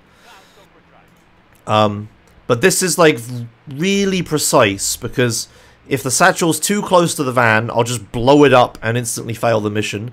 If the satchel's too far away from the van, I'll really damage it, but I won't blow it up. Uh, sorry, I won't set it on fire and the guy won't jump out. Um, what I'm trying to do here is I'm trying to set up a situation where he jumps out of the van and leaves the door open, and then I can get into the van and drive it straight to the end. Because the guy takes like a really long route to get to the place, but I can just drive it straight up, and there's like a trigger that if a van gets into, the mission will pass. So by very carefully positioning myself here, and throwing this satchel, and then running over to here, I've set the van on fire, it's with an explosion, and it's moved forwards. The guy jumps out, like this, and rolls out, and then Obviously, the problem now is that the van's on fire, is about to blow up. So what I'm going to do then is get into this car, and then I'm going to drive into this marker. Now, there's a thing in this game where when a fade out starts, or cutscene start or whatever, any vehicles that are on fire that are about to blow up, they get set to one health, exactly one. And that prevents them from exploding like in cutscenes or anything. So what I'm going to do is I drive into the marker here just by going a little bit forwards. It has to be really close because the van like is right about to explode. Um, and I just just get into this cutscene, and now the his here's the guy that was driving it. He's running away because he's terrified. But now the van is like very deep black smoke. It literally has a single health point. If it takes a single bit of damage, it will catch fire again. Um, but thankfully, this van is like crash proof, so it won't actually blow up if I hit a wall or anything. But that doesn't matter. That's how that's how that works. So if you ever have a, like a if you're ever if your car's ever on fire and you're right next to a cutscene, just keep going, get into the cutscene, you'll be fine. But anyway, more importantly, we can see that this door is open or sesame, open areno, whatever you want to call it. Um, just keep drawing while I'm like thinking about what to say next. Um, so yeah, now I can get into this van and drive it to the end. But there's one small final catch. It's that in order to progress the mission, I need to get on the bike. So I have to get on this bike. But as soon as I get onto the bike, that guy who was scared and ran away, he's going to come back and try to get into the van. So what I need to do here, what I'm checking, is that the door can open like in different ways. So this one's good. This one's pretty open. But sometimes it can only open like a little bit or whatever. Uh, and then that's like not open enough for CJ to try to get in. And he'll just like pull up the door handle that isn't there and won't be able to get in. Or sometimes the door is like swinging loads and it's like out here or whatever and it's about to like hit the hinges and then start swinging back and close or whatever. Um, so I check here and say if the door is like barely open or it's about to swing back or whatever, what I could do is push the van this way, like just with CJ, and the door will have like its own little physics or whatever and will start to swing open more. So I have to make sure that the door is going to be open before I get on the Sanchez. Because if I get on the Sanchez first and then try to push the van, the guy is just going to come back and just get into the van and close the door and then I'm fucked, right? so I'm checking the van. Hopefully, uh, thankfully the door's open enough so I don't need to push it, but I just get on the Sanchez and then get off of it. And then, you see, here comes the guy again. He's here. He's here to drive his van. So I have to then quickly get into the thing, and then as soon as I get into it, he gets scared and runs away. But there you go. That's how I stole this fan or whatever. Um, kind of a detailed sequence break. It took a took a few years to find that. I don't remember who found it. I think it was a community effort, wasn't it? Yeah, it was like a bunch of people in the community came together and found this, which was really cool. And it's good because this mission's terrible, and it's great that we can skip it now. But anyway, uh, a little funny thing happens here. So right as I drive into this compound, I play a replay uh, right now, and I play it at exactly the perfect time to completely skip this fade out so if I play this in slow motion, you'll see that no fade fade out happens, and um, eventually a frame happens where the cutscene just starts here. So the cutscene has like started now. Normally this transition here, this is this is hidden by the fade out happening. But because I played the replay at exactly the right time, I completely skipped the fade out and we get to see behind the curtain a bit at like the cutscene being set up or whatever. So that was kind of fun. But yeah, that's Outrider Skip. That's how that works. There are a bunch of other setups where you can use like the rocket launcher and shoot a certain part of the wall or put a bunch, put a satchel other places or some other stuff. I'm not sure. Um, but I like that setup because it's like the simplest for me. I don't know. I, I get that one most of the time. But yeah, it is pretty finicky and sometimes I don't pull it off and I have to try the mission again. Okay. Next is... What mission is this? uh, is this Snail Trail? It is Snail Trail. Okay, cool. So from a really fun mission, well, was a boring mission, to a really boring mission. Um, in this mission, you need to pick up the sniper rifle, and as soon as you do, a train is going to pull into the station with a, a target on it and then it's going to drive away at hyperspeed and you need to like follow it or whatever. And you need to follow it like all the way to Los Santos uh, and then the guy will get out at a train station and then you need to follow him all around Los Santos and crap. Um, but thankfully we have a skip for at least the train part of it so the sniper rifle is like, if I go forwards a bit, the sniper rifle is inside these tube, this tube here. And the reason it's in here is to prevent you, I think, I think it's in here, to prevent you from getting to the train station too quickly. But what I do is I pick up this Sanchez, and then I drive, this is the Sanchez you're supposed to use to follow the train. But I pick it up now, and then I bring it to the sniper rifle, and I get in the sniper rifle, and then as soon as I pick up the sniper rifle, I just book it to the train station. So I get the sniper rifle, and it's like, go, go, go, go. So I have a limited amount of time to get to this train station.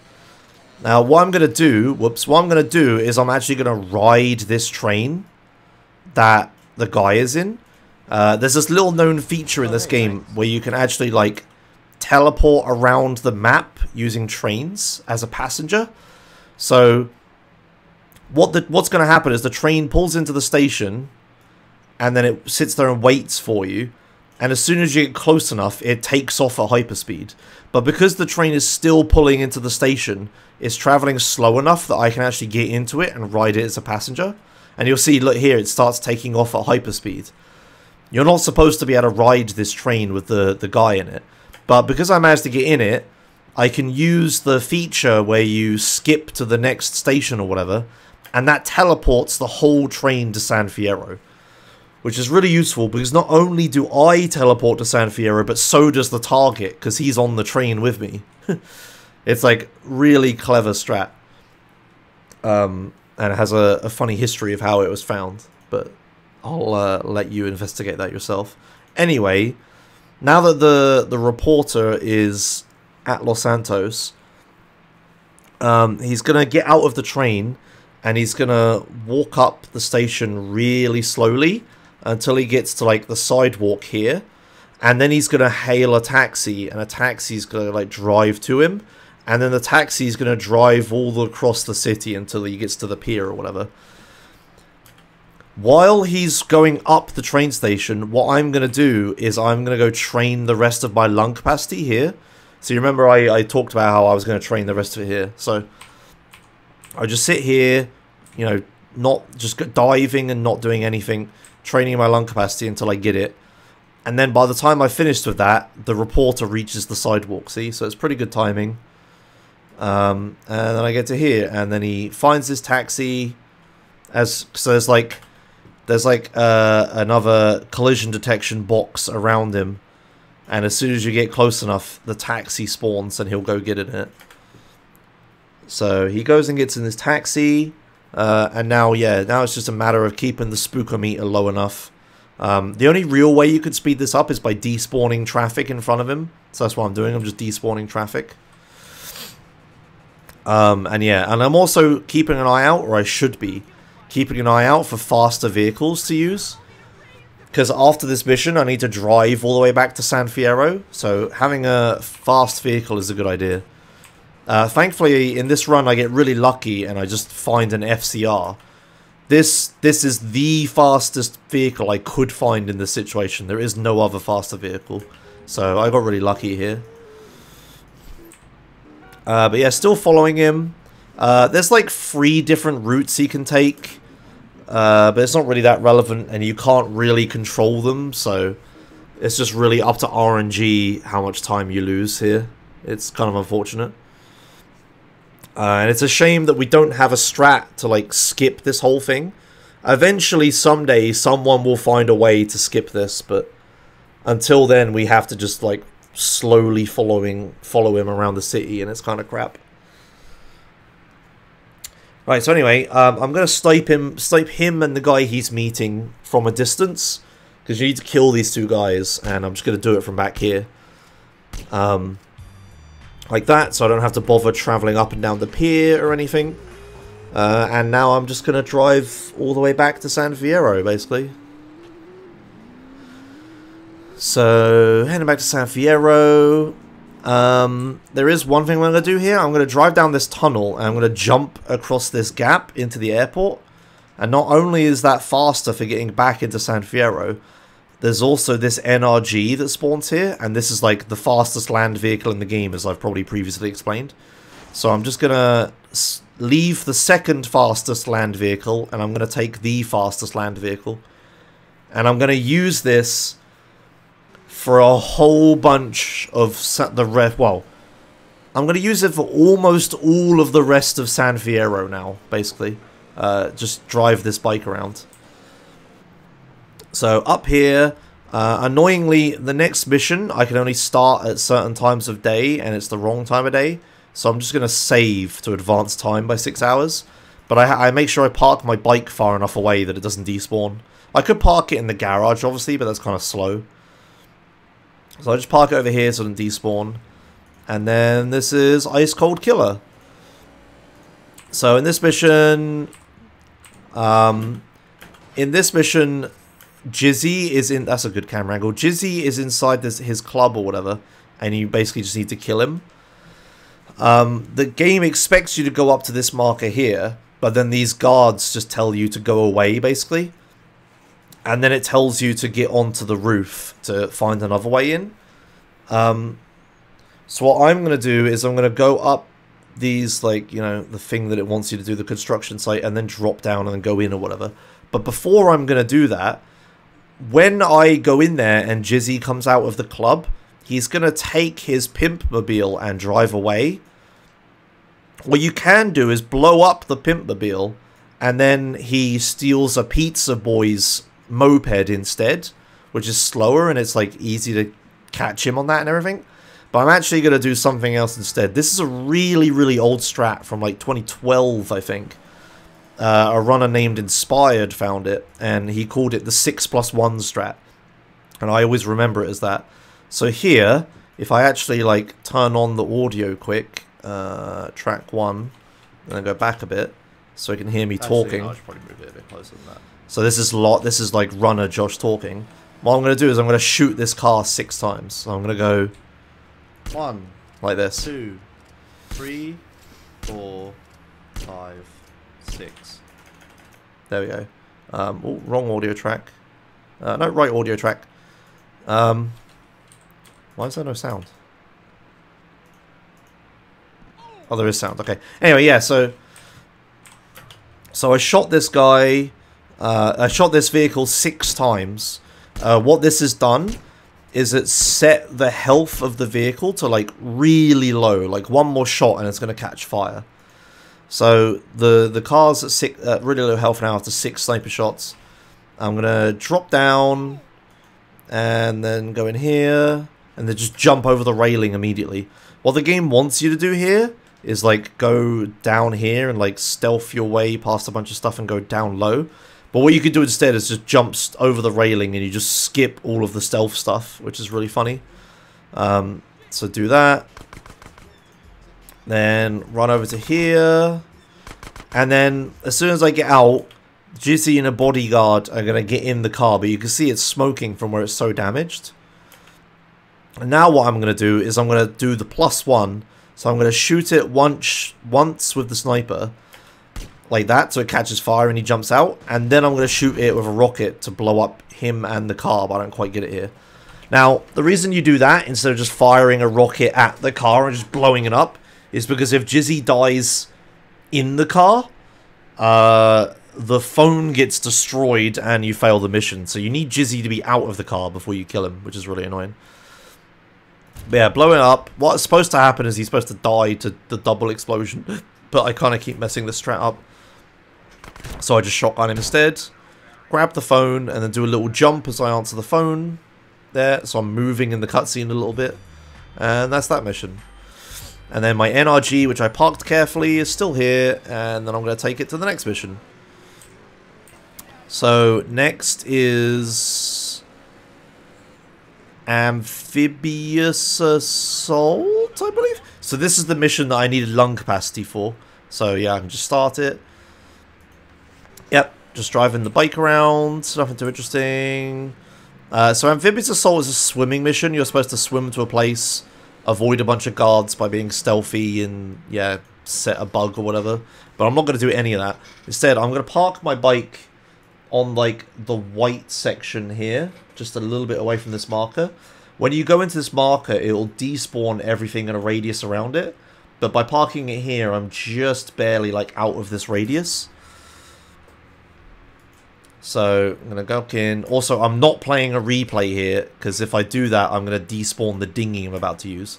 But anyway, this bit, you're supposed to like swim through all these rocks or whatever and get to like the tanker or whatever. But I'm not going to do that. Instead, I'm going to turn around, climb this rock, and like climb out like this. And then I'm going to jump across. I don't actually need to hit that marker. And then I can climb up these rocks and then get out. And then my bike's still here from where I parked it. So I'm going to take the bike. I'm going to drive it over here. And I'm going to just basically yeet it. Like throw it around way like that. Uh, and it'll stay there for later. And then down here, this dinghy only spawns if you don't play a replay going into the marker for some reason. Uh, so I'm going to run down here, take the armor, and then get in the dinghy. And I'm just going to drive this to the mission instead. Being I'm being careful not to fall into the water here. So as soon as you touch like ocean water for whatever reason, or I guess it's as soon as you touch water that isn't inside like a radius here, um, you'll trigger the next part of the mission and the guards will become active. But because I haven't touched the water yet, the guards aren't active. So because they're not active, I could just drive past them like this, and they just don't even do anything. See, it's just they just idle there and not do anything. Uh, and then I'm gonna drive around, and then here I'm gonna I'm gonna try to drive the boat this way and jump out like here and climb up this thing, and the boat is gonna keep drifting up to here, and then later in the mission I'm gonna jump down from here and go into the boat because I left it over there. So get out. As soon as I get into the water, that cutscene starts, and all of a sudden there's a bunch of enemies on the map. But I'm already past them. And then here, you're supposed to stealth kill these guys, but I just don't. Because they only have knives, so there's like no reason to do it. You just shoot them all in the face. Like, whatever. It's just, yeah. So, shoot all these guys in the face. And then trigger the fit, trigger the bug or whatever. Leave, and then jump to the side, and my boat's right here. See? Perfect. Strats. uh, and then drive around. These guys are going to shoot me now, but the boat, or it, I mean, they don't see me. There you go. But the boat has enough health to survive it. Uh, and then here, you have to get out really early in order to actually be able to jump out. So I get out super early there, and then land perfectly on this platform, which is good. And then I run around here, and then my bike is still there from earlier, so I can keep using it. And it's also pointed the right way, because when you eat it, it does a 180 for whatever reason. Now, the next mission, this one's Pier 69. Um, when I go close to Caesar, there's, it's going to despawn all the vehicles in a radius around him. Uh, so what I'm going to do with the bike is I'm going to very carefully park it like you see this line here. The radius comes to like just here or whatever. Um, so if I park the bike here it just barely doesn't despawn. So I park it up there and then it won't yeah I push it a little bit because it's a bit too close. But yeah parking it there and it won't despawn when they talk to Caesar. Um, there are strats here to use rockets to snipe these guys with. Uh, for some reason this guy was really invincible this run. I don't know why. In the end I just headshot him because he's being an ass. But yeah, you can use rockets to shoot them. You basically shoot rockets like here, here, and then like here or whatever. But you have to be careful to not kill these guys, I think. Right, and then after sniping them, you turn around. And go back to the bike, which didn't despawn and then carefully drive it down the off the sides and then what you're supposed to do is like fight your way into here and kill all these guys or whatever. But what I'm going to do is just drive around and go straight to T-Bone. Uh, and then you could either shoot him or run him over. I think I shoot him this run yeah. Shooting is technically faster because you can shoot him before you run him over because you're further distance or whatever. And then here's Ryder what you're supposed to do is get into the boats. You're supposed to like jump over the wall and like swim and chase after him. But what I'm just going to do is just snipe him from a distance instead. He takes two shots and then he's dead. And that's the mission done and we can move on. You basically never really interact with Ryder. You just kill him.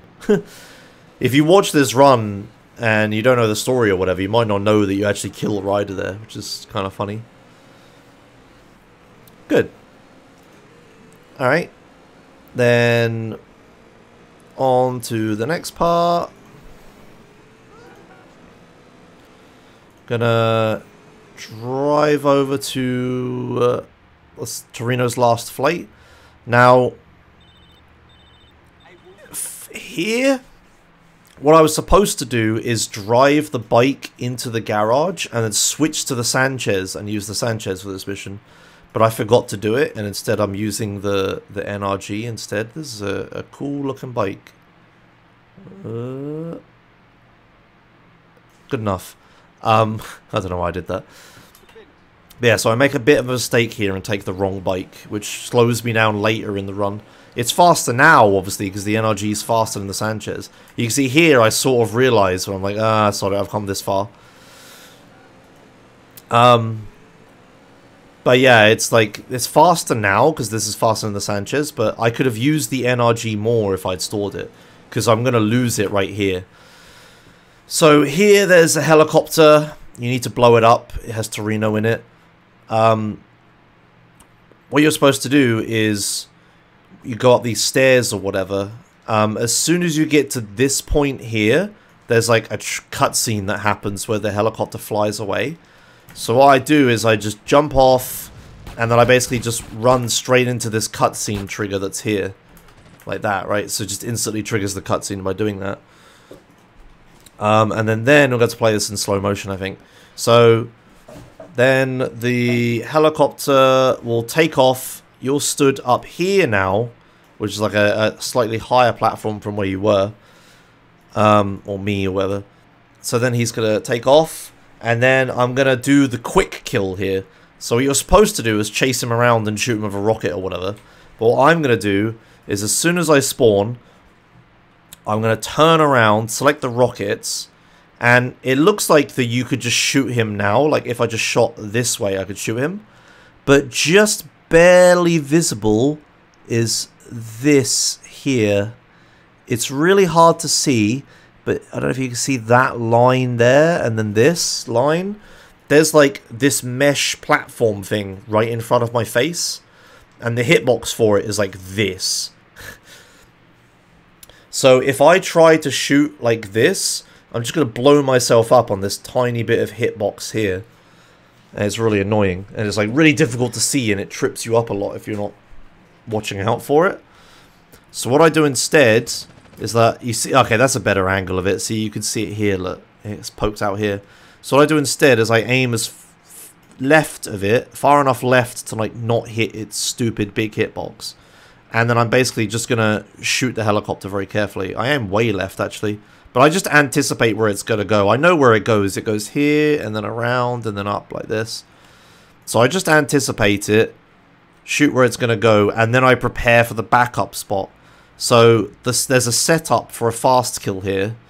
You see this wall here. As soon as the helicopter, uh, like, touches... As soon as the helicopter touches this section of wall here... Um... That's pretty good, I think. As soon as the helicopter touches this wall here, if you aim exactly here, you'll kill it. Because the rocket will hit this bit, and the resulting explosion will hit the helicopter, and you'll blow it up. But while I'm waiting for the helicopter to fly over here, I just take a pot shot at it and just shoot here. And in this run, I actually managed to hit it dead on like that. Um, I actually want to show this in slow motion because it's cool. uh, Alright, so yeah, I just, I sort of line up, make sure I avoid this crap here, and I just take a pot shot at it like that. You could probably find, now that I'm looking at this, you could probably find a setup for this. So let's see, where do I shoot? I shoot, this is strat finding instead of commentary now. I shoot like right above, so there's like this little pokey outy bit of this tree here, like this. Can't see it because the video compression or whatever. But there's a little pokey out bit of this tree here. So as soon as the helicopter touches this window, you shoot at this little pokey uppy bit of this tree. I think that's the setup. Like that. And then he flies into it and gets blown up. Yeah. Yeah, that works actually. Okay. New setup. I might try that in runs. But yeah, you might as well try it because there's a, a guaranteed setup again of when he hits this or whatever. So the the one when he hits this is like really easy to do. But this one I just invented sounds pretty cool. uh, so I'm going to try that next time. Anyway, yeah, so that's that mission.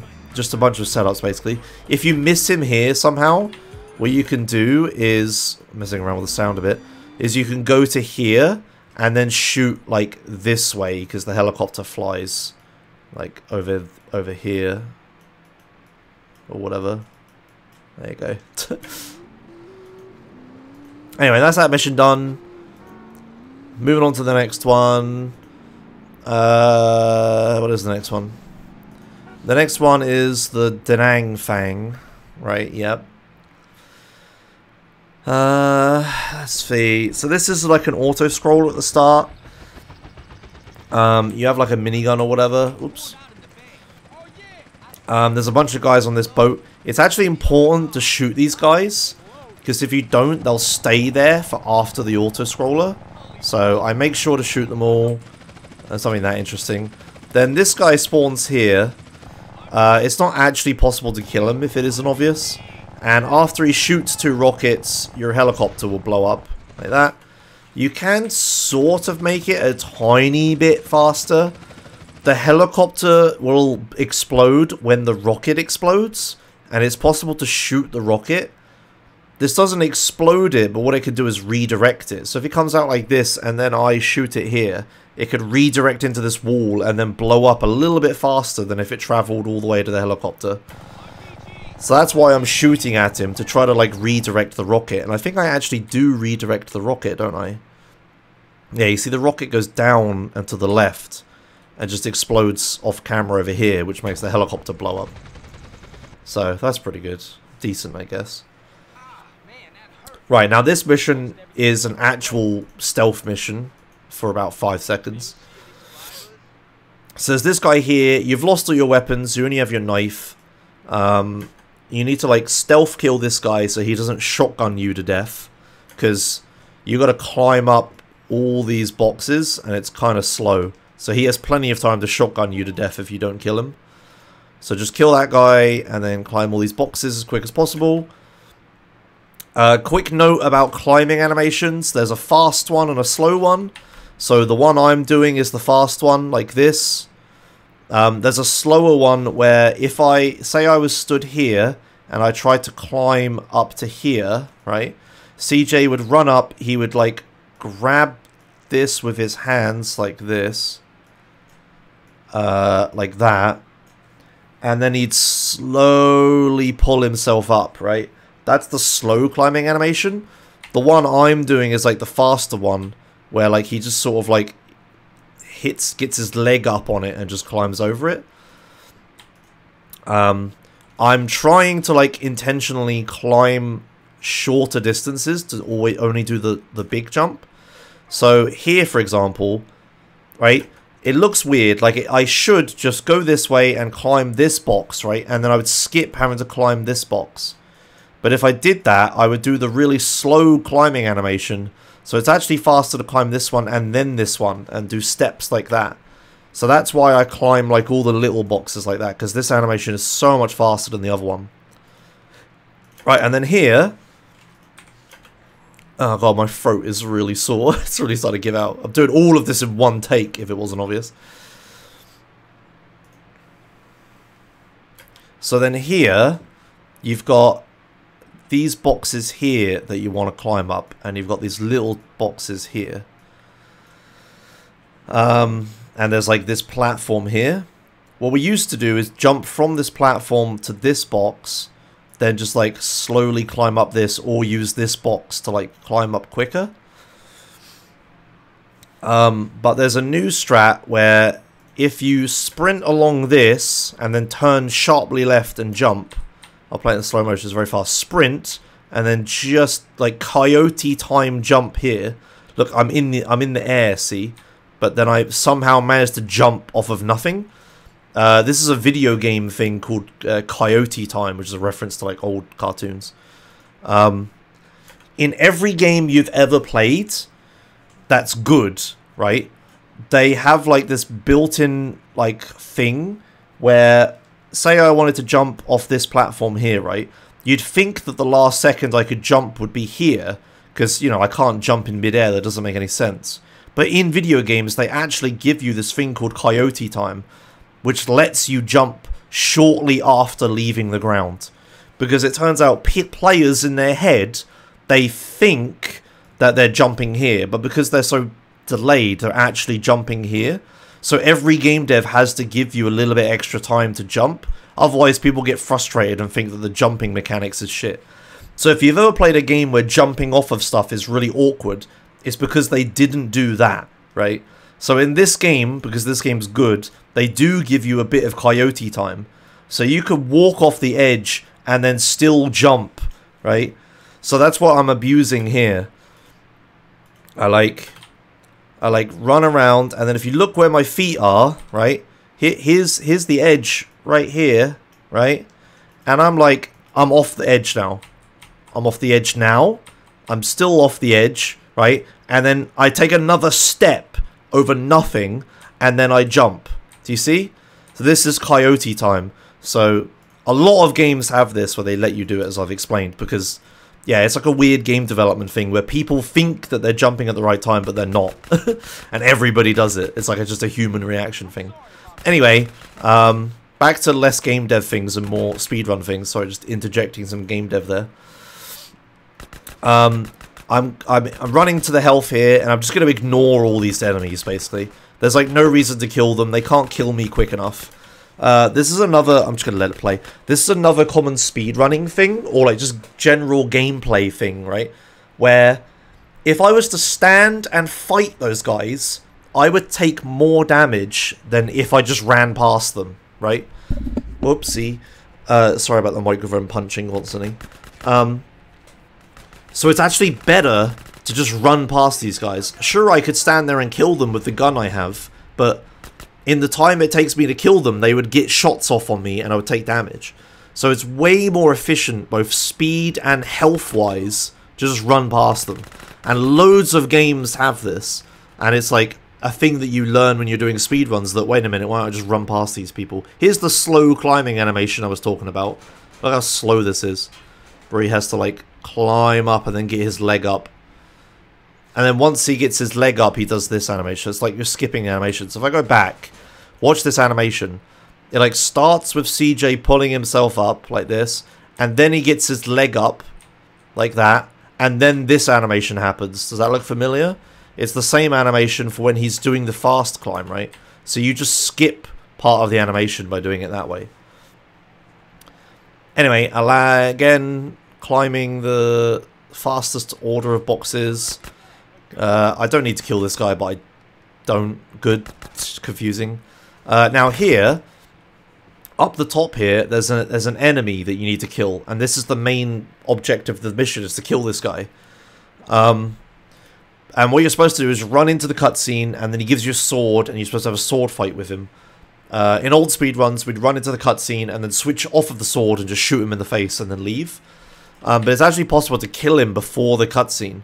So here, I start aiming the gun, and with a very... the fade-out's happening, but with very careful shots here, I actually shoot him in the head before the cutscene starts like this. So he's already dead in this cutscene, do you see? So then I could just leave. Um, it's actually possible. He's he's here, right? He's right here. It's actually possible to kill him through the wall with like explosions and stuff like that. But obviously you don't have any weapons. Um, but what can happen is if you're incredibly lucky, is if like a plane crashes into the flipping building and kills him. and that can happen, right? Uh, there's my diagram of a plane. So if a plane crashes into this and blows up and kills him, you would like skip a whole bunch of the mission. so there's one for the the TASes of the world. If you want to make a TAS of this game, make sure that happens because that'd be flipping amazing. Anyway, he's dead. So run away. I'm just ignoring these guys because I'm gonna death warp at the end of this mission here.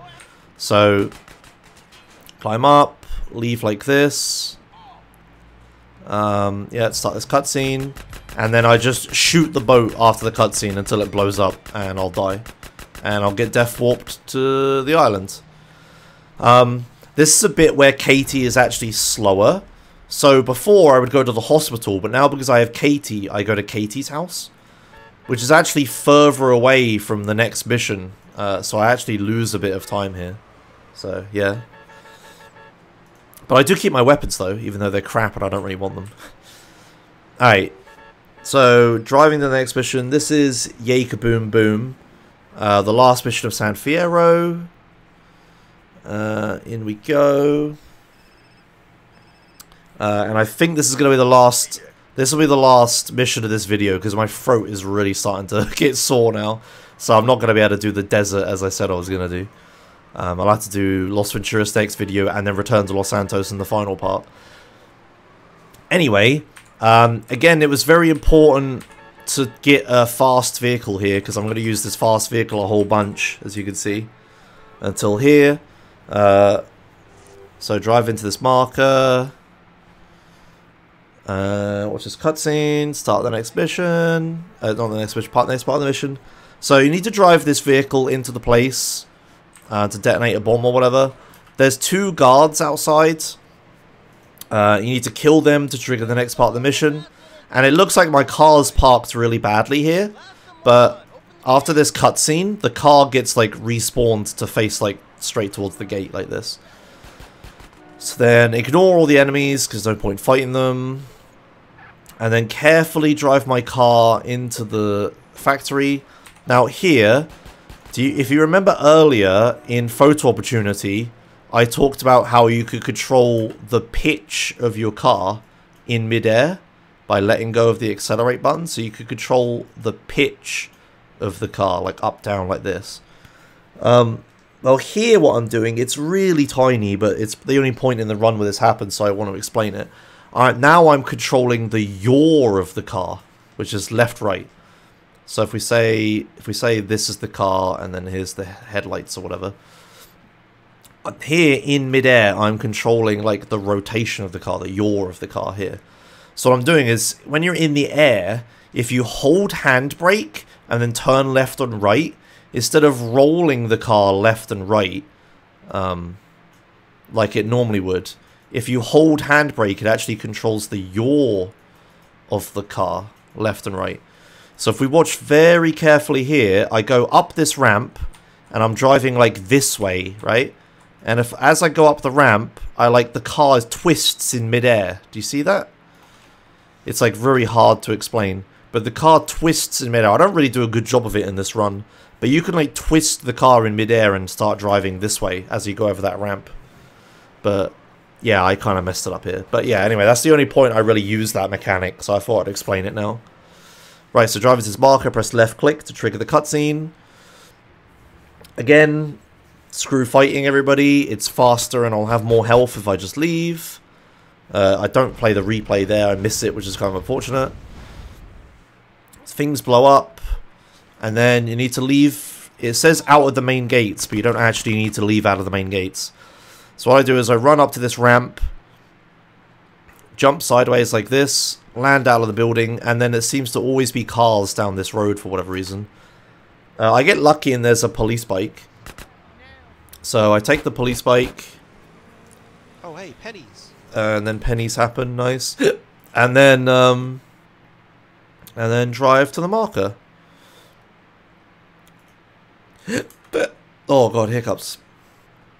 Now, as soon as you hit this marker, the mission instantly ends like that. And then that's San Fierro done. Hooray!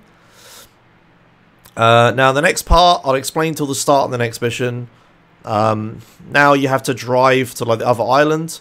You can drive across the bridge, but it's like actually faster to take a boat as long as you don't fall off the bike like a moron.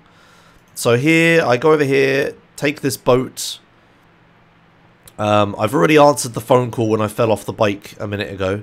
Um, but you need to answer the phone call to get the question mark marker. And then you drive the boat across the water to there. Now, there is this weird mechanic here. So, there's a group of rocks here, and a group of rocks here that spawn.